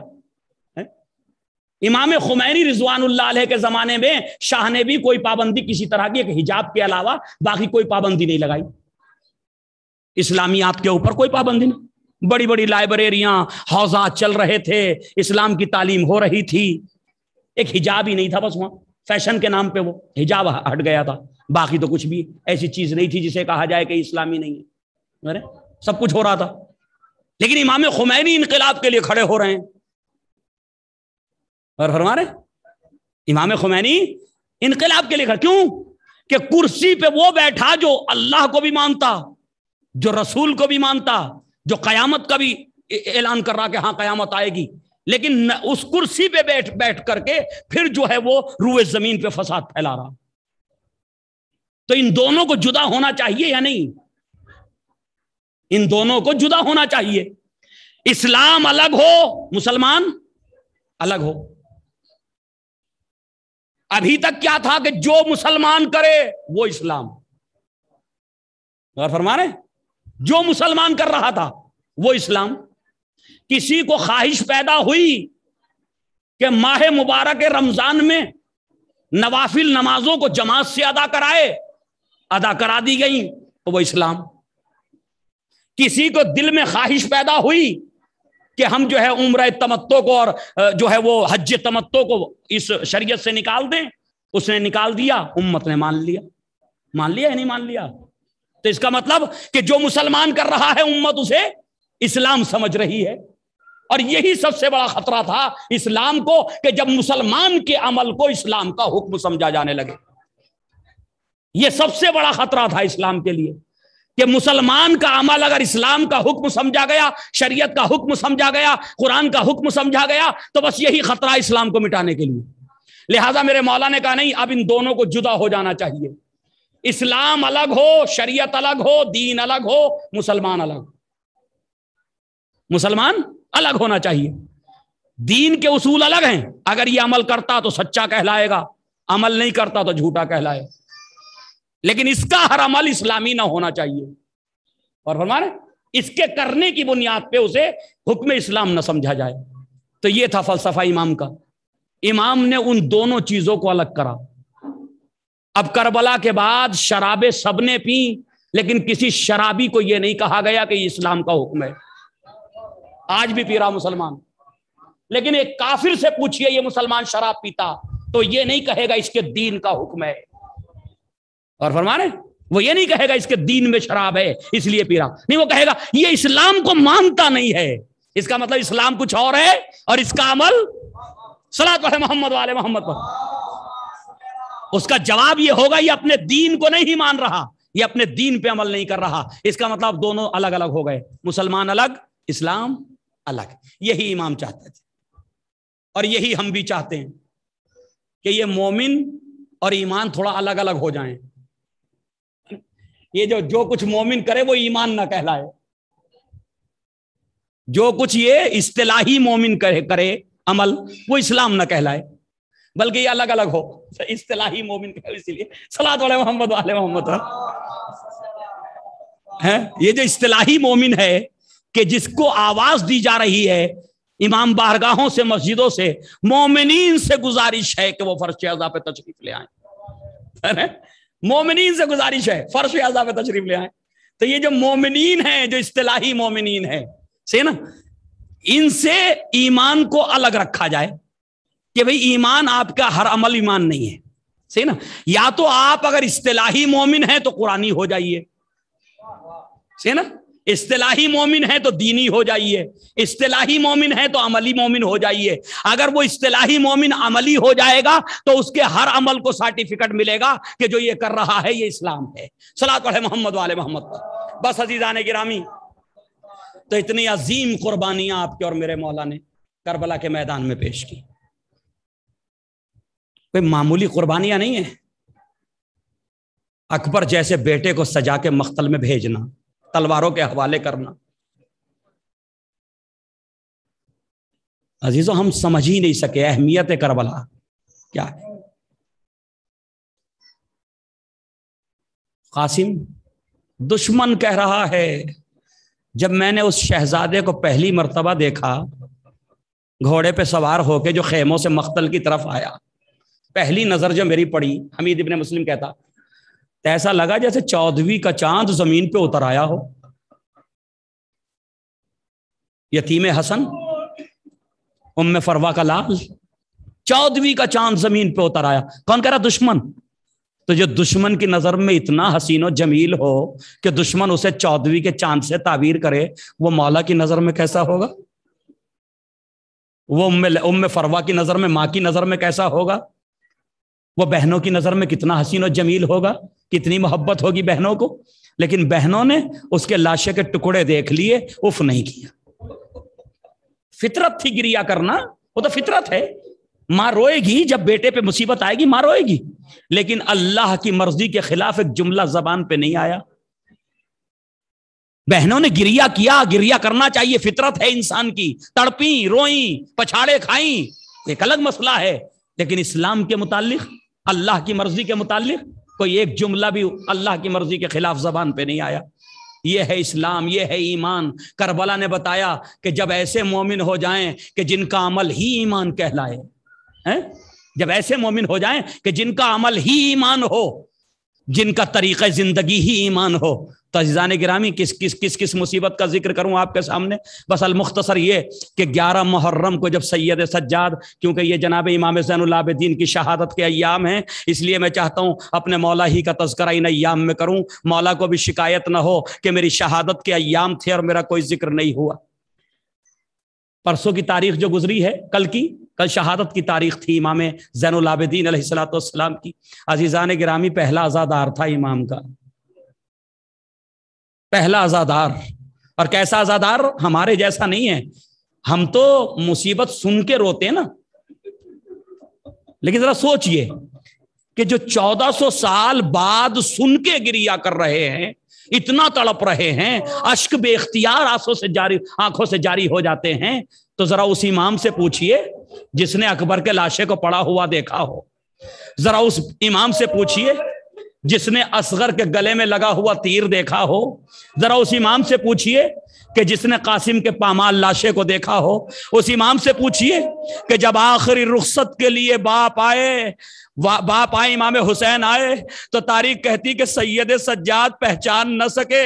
अरे मौला के जिस्म पे इतने जख्म थे, आप इस कदर खून आलूद थे कि एक मरतबा सैयद सज्जाद जनाब जैनब से पूछने लगे फुपी अम्मा, ये मेरे बाबा हैं? फूफी अम्मा क्या ये मेरे बाबा मेरे सामने खड़े कहा हाँ हाँ मेरे लाल ये तुम्हारे बाबा है। एक मरतबा अपने बाप की तरफ़ देखा हज़रत याद से और एक मरतबा इमाम से पूछा बाबा ये मैं आपकी क्या हालत देख रहा हूँ? इमाम से पूछते मेरे बा, ए, ए बाबा ये तो बताइए चचा क्या हुए? बाबा ये तो बताइए मुस्लिम इबन और सजा हबीब इबन मजाहिर जोहर कैन ये सब कहाँ है? आपकी ये हालत क्या देख रहा हूँ? एक मरतबा मेरे मौला जब अजीजो अकारीब को मेरा इमाम पूछने लगा मेरे चचा क्या हुए? मेरे भाई भाई क्या हुए? तो जैसे ही बात आई अजीजो अकारिब की तो मेरे मौला ने बात को काट दिया। एक जुमला कहा, मेरे लाल सैयद सज्जाद, अरे किस किसके लिए पूछोगे? भाई इतना सुन लो कि मर्दों में तुम्हारे और मेरे अलावा कोई बाकी नहीं है। मर्दों में तुम्हारे और मेरे अलावा कोई बाकी नहीं है। मेरे लाल बस जैसे ये जुमले सुने, एक मरतबा जनाबे जैनब से कहा, फुफी अम्मा, जरा हमारी तलवार तो दीजिए। पुपी अम्मा जरा हमारी तलवार तो दीजिए। मेरे मौला ने कहा मेरे लाल तलवार लेकर के क्या करोगे? बाबा, क्या मैं आपकी नुसरत नहीं करूँगा? क्या मेरे ऊपर नुसरत वाजिब नहीं है? मेरे मौला ने कहा मेरे लाल तुम बीमार हो। मेरे लाल, तुम्हारा इससे बड़ा इम्तिहान होना है। मेरे लाल, ये इम्तिहान तो करबला में खत्म हो जाएगा। ये छोटा इम्तिहान है जो हम दे रहे हैं। इससे अजीम इम्तिहान है जो सैयद सज्जाद तुम्हें देना है। ए सैयद सज्जाद, अरे इन बीबियों को जहरा की बेटियों को, नबी की नवासियों को, मेरे लाल, तुम्हें बेमकनो चादर बाजारों और दरबारों तक ले जाना है। ए मेरे लाल सैयद सज्जाद, हिम्मत रखना, मेरे लाल हौसले से काम लेना, शहादतें रायगा न चली जाए। यही वजह थी सैयद सज्जाद, हर दरबार में, हर बाज़ार में इन बीबियों के साथ चले तो गए, लेकिन करबला के बाद चौतीस या छत्तीस साल की रिवायतें, छत्तीस साल ज़िंदा रहे, हमेशा मातम करते रहे, हमेशा गिरिया करते रहे। जब भी किसी ने पूछा, फरदंदे रसूल फरदंदे रसूल, सबसे ज़्यादा मुसीबतें कहाँ गुजर गई? तो मुझे इंसाफ से बताओ, अकबर का कत्ल होना ज़्यादा बड़ी मुसीबत थी ना? अब्बास के बाजू कता होना यह ज़्यादा बड़ी मुसीबत थी? असगर के तीर लगना ज़्यादा बड़ी मुसीबत थी? लेकिन मेरे मौला ने करबला का कभी ज़िक्र नहीं किया। जब भी बात आई, सबसे बड़ी मुसीबत कहाँ पड़ी? वो मेरे मौला ने कहा शाह शाम में हमसे सबसे ज़्यादा, हम पे सबसे ज़्यादा मुसीबतें गुजर गई। मैं पूछा गया, मौला, शाम में ऐसा क्या हो गया? करबला शहादतें तो करबला में हुई हैं। ये शाम में ऐसा क्या हो गया? बस सैयद सज्जाद कहते हैं शाम में वो हुआ जो आज तक हमारे साथ नहीं हुआ था। आज तक हमारे साथ नहीं हुआ था। अरे, कत्ल तो हमारी आदत है। हमारे दादा कत्ल हुए। हमारे चचा कत्ल किए गए। मेरे बाबा कत्ल किए गए। लेकिन जो शाम में हो गया, वो सैयद सज्जाद को बर्दाश्त नहीं है। अरे क्या हो गया मौला शाम में? मैं शाम में उस बीबी को, उन बीबियों को बढ़ेना सर फिराया गया, जिनकी माँ का जनाजा रात की तारीकी में उठा था। अरे उसी जहरा की बेटिया शराबियों के दरबार, बाजारों के मजमे में गई। बेमकनो चादर बार बार कहती थी, ए मेरे लाल, अरे हम कैसे दरबार में जाएँ? हम कैसे बाजारों से गुजरे इन्ना लिल्लाहि व इन्ना इलैहि राजिऊन सयालजीन बारहला मोहम्मद वाल मोहम्मद का वास्ता। इस ज़िक्र मोहम्मद वाल मोहम्मद के ज़रिए से मरहूमिन के दर्जात में इजाफ़ा फरमा। मेरे मबूद बिलखसूस, वो मरहूमिन के जिन्होंने फ़र्श अज़ा को फ़रोग देने के लिए जहमतें बर्दाश्त की, तकलीफ़ें उठाईं, इमाम बारगाहों की तामीर किया और इस फ़र्श अज़ा को आगे बढ़ाया। इस ज़िक्र मोहम्मद वाल मोहम्मद से उन तमाम ही मरहूमिन के दर्जात में इजाफ़ा फरमा। बरहला मोहम्मद वाले मोहम्मद का वास्ता हाजरीन मजलिस के तमाम मरहूमिन की मगफरत फरमा। बारहला मोहम्मद वाले मोहम्मद का वास्ता जब तक इस दुनिया में रहें, मोहब्बत अहल बैत के साथ रहें। जब इस दुनिया से जाएँ, मोहब्बत अहल बैत के साथ जाएँ। इन मजलिसों से और सीरत मोहम्मद वाले मोहम्मद से मेरे मबूद हमें तोफ़ी अता फरमा के हम अपने अमाल को, अपने किरदार को बेहतर बना सकें। बारहला मोहम्मद वाले मोहम्मद का वास्ता मेरे मबूद आलम बशरीत को करोना वायरस से निजात अता फरमा। बहला मोहम्मद वाले मोहम्मद का वास्ता मेरे मबूद ज़ायरीन कराम करबला के इश्तियाक में तड़प रहे हैं। मेरे मबूद करबला के रास्तों को नजफ़ के रास्तों को जो है वाह फरमा। बहरला मोहम्मद वाले मोहम्मद का वास्ता मेरे मबूद बीमारों को शिफा कामिला वाजिला अता फरमा। जो साहिबान हाजात हैं, उनकी हाजतों को पूरा फरमा। जो मुसीबतों में गिरफ़्तार है, उन्हें मुसीबतों से निजात अता फरमा। जो बेकारोबार है, उन्हें कारोबार अता फरमा। जो कारोबार रखते हैं, उनके कारोबार में तरक्की अता फरमा। रिस्क में बरकत अता फरमा। बहला मोहम्मद वाल मोहम्मद का वास्ता हक और मराज कराम का साया हमारे सरों पर कायम दायम फरमा। मेरे मबूद बिलखसूस आयतुल्लाज़मा सैद अली सैयद सैदुल हकीम तबा तबाई मेरे महबूद उनका कल इंतकाल हो गया है, वफ़ात हो गई है। मेरे मबूद, एक मरजा वक्त का साया उम्मत के सर से उठा है। मेरे मबूद, उनके दर्जात को आली फरमा। बहला मोहम्मद वाले मोहम्मद का वास्ता और तमाम ही उनके अहल अहल खाना को, अज़ीज़ अकारीब को और उम्मत मुसलमा को सब्र अता फरमा। बहरेला मोहम्मद वाले मोहम्मद का वास्ता हमारे इमाम के जहूर में ताजील फरमा। हमारा शुमार उनके ग़ुलामों में फरमा। रबना तकबल मन्ना इन्ना का अंतसमीम एक मरतबा सूर अलहमद और तीन मरतबा सूर अखलास की तिलावत फरमा कर शहदा इस्लाम और सराय करबला, और शहदा करबला। और बिलखसूस हक़ जो इस दुनिया से जा चुके हैं, और अभी इस ज़माने में जो शहदा ईरान की तरफ़ से जिन्होंने शहादतें पेश की हैं, मेरे मबूद, उन सभी के लिए और अपने मोमिन मोमिनत के लिए। और बिलखसूस आयतुल्ला सईदुल हकीम साहब अल्लाह मकाम के लिए सुर फातह।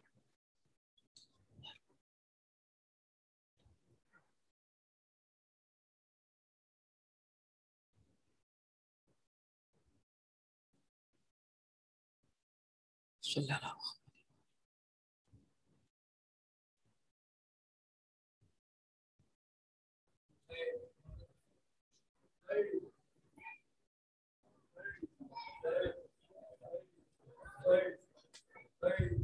Hey. Hey.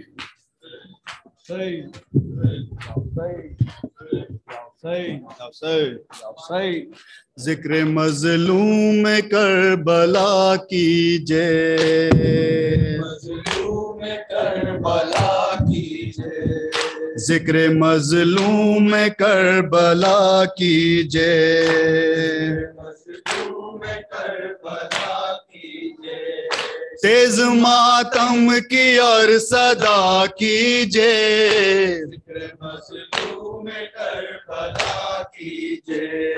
ज़िक्र मजलूम कर भला कीजे ज़िक्र मजलूम कर किसी ने ये नोहा पढ़ने के लिए कहा है। समाज फरमाए इस साल का नया नोहा है। वक्त रुक सा।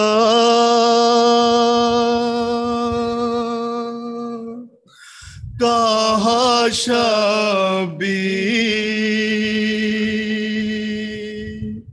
रने रो कर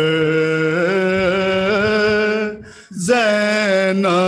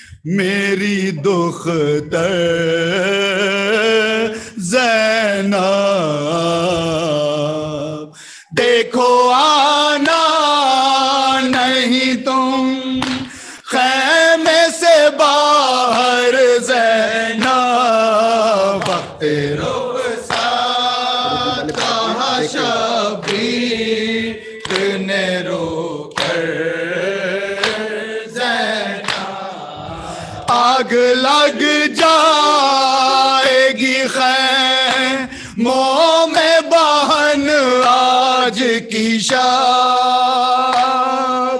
चंद लम हो में तुम्हारा लुट जाएगा सा हाय जल जा हेगा बीमार का बिस्तर जहना देखो आना नहीं तुम।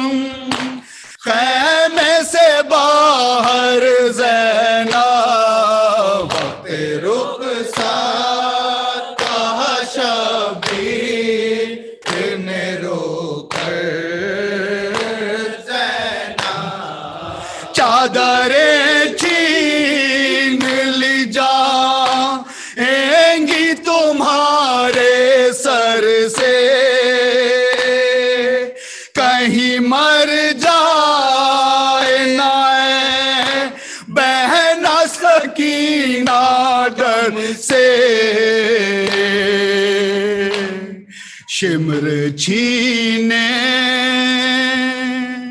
ना कहीं का न से गौहर जैना। देखो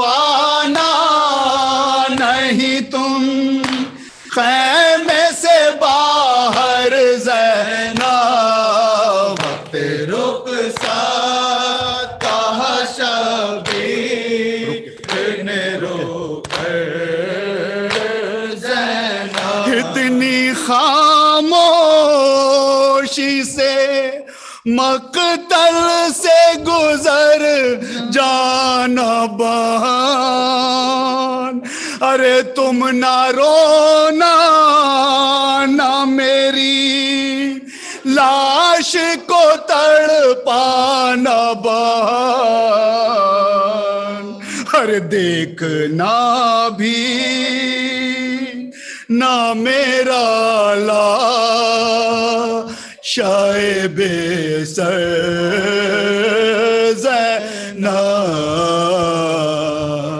देखो आना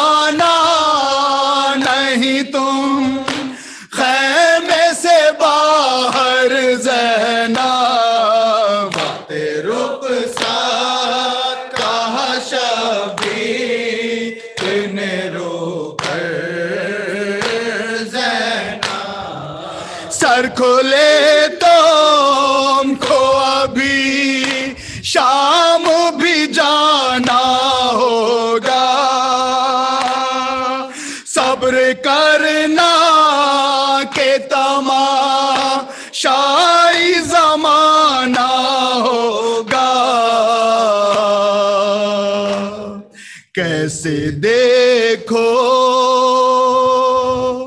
गी भला शाम का मंजर जैना देखो आना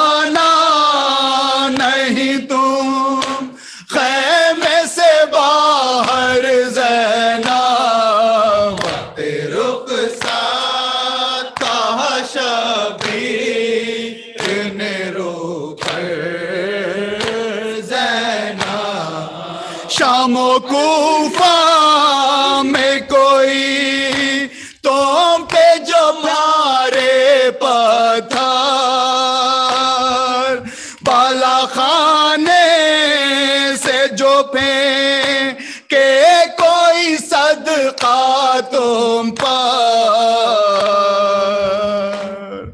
शिकवा हर गे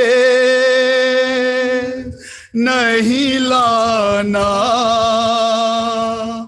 कोई लब पर जैना।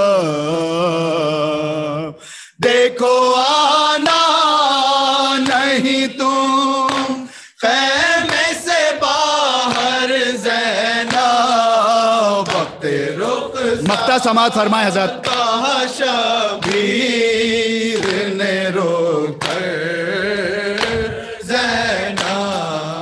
रन को जाने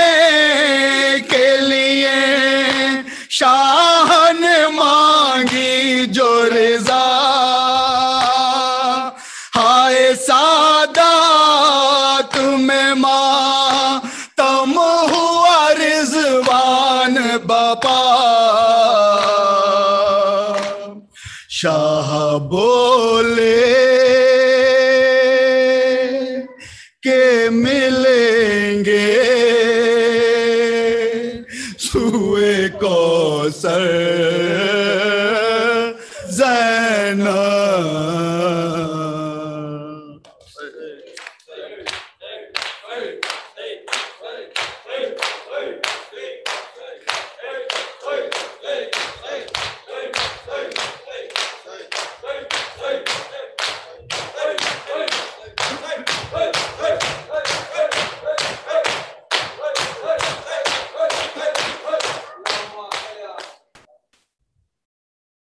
अस्सलाम या अबा अब्दुल्लाह अस्सलाम या इब्न रसूलुल्लाह अस्सलाम वला जद्दका व अबीक अस्सलाम वला उम्मिका व अखीक अस्सलाम या अखीक या अबुल फजल अब्बास अस्सलाम हुसैन वला अली इब्न हुसैन वला औलाद हुसैन, वला हुसैन जमी शोदाए करबला, व असीरान करबला, व रहमतुल्लाह बरकातुहू अस्सलाम या मौला या गरीबुल गुरबा। अस्सलाम या मुइन ज़ोफ़ाए वल फ़ुक़रा। अस्सलाम या शम्स शमू। अस्सलाम या निसन नफून अस्सलाम अय्युल मदफून बैर ज़तूस। अस्सलाम या मुतशियत ज़वार फिल यौमिल जज़ा।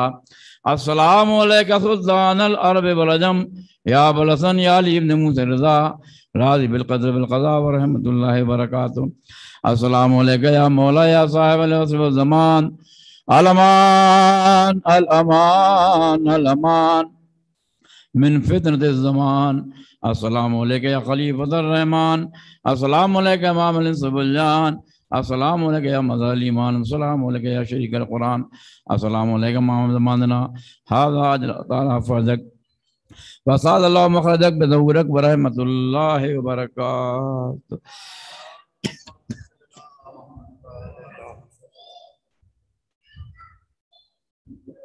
हाजरीन, कल इसी खमसे के सिलसिले से दूसरी मजलिस होगी यहाँ। ठीक आठ बजे शुरू होगी। वक्त की पाबंदी का ख्याल रखें। ताकि हम लोग वक्त से प्रोग्राम शुरू करके और वक्त से ख़त्म कर पाएँ। जजाकल्ला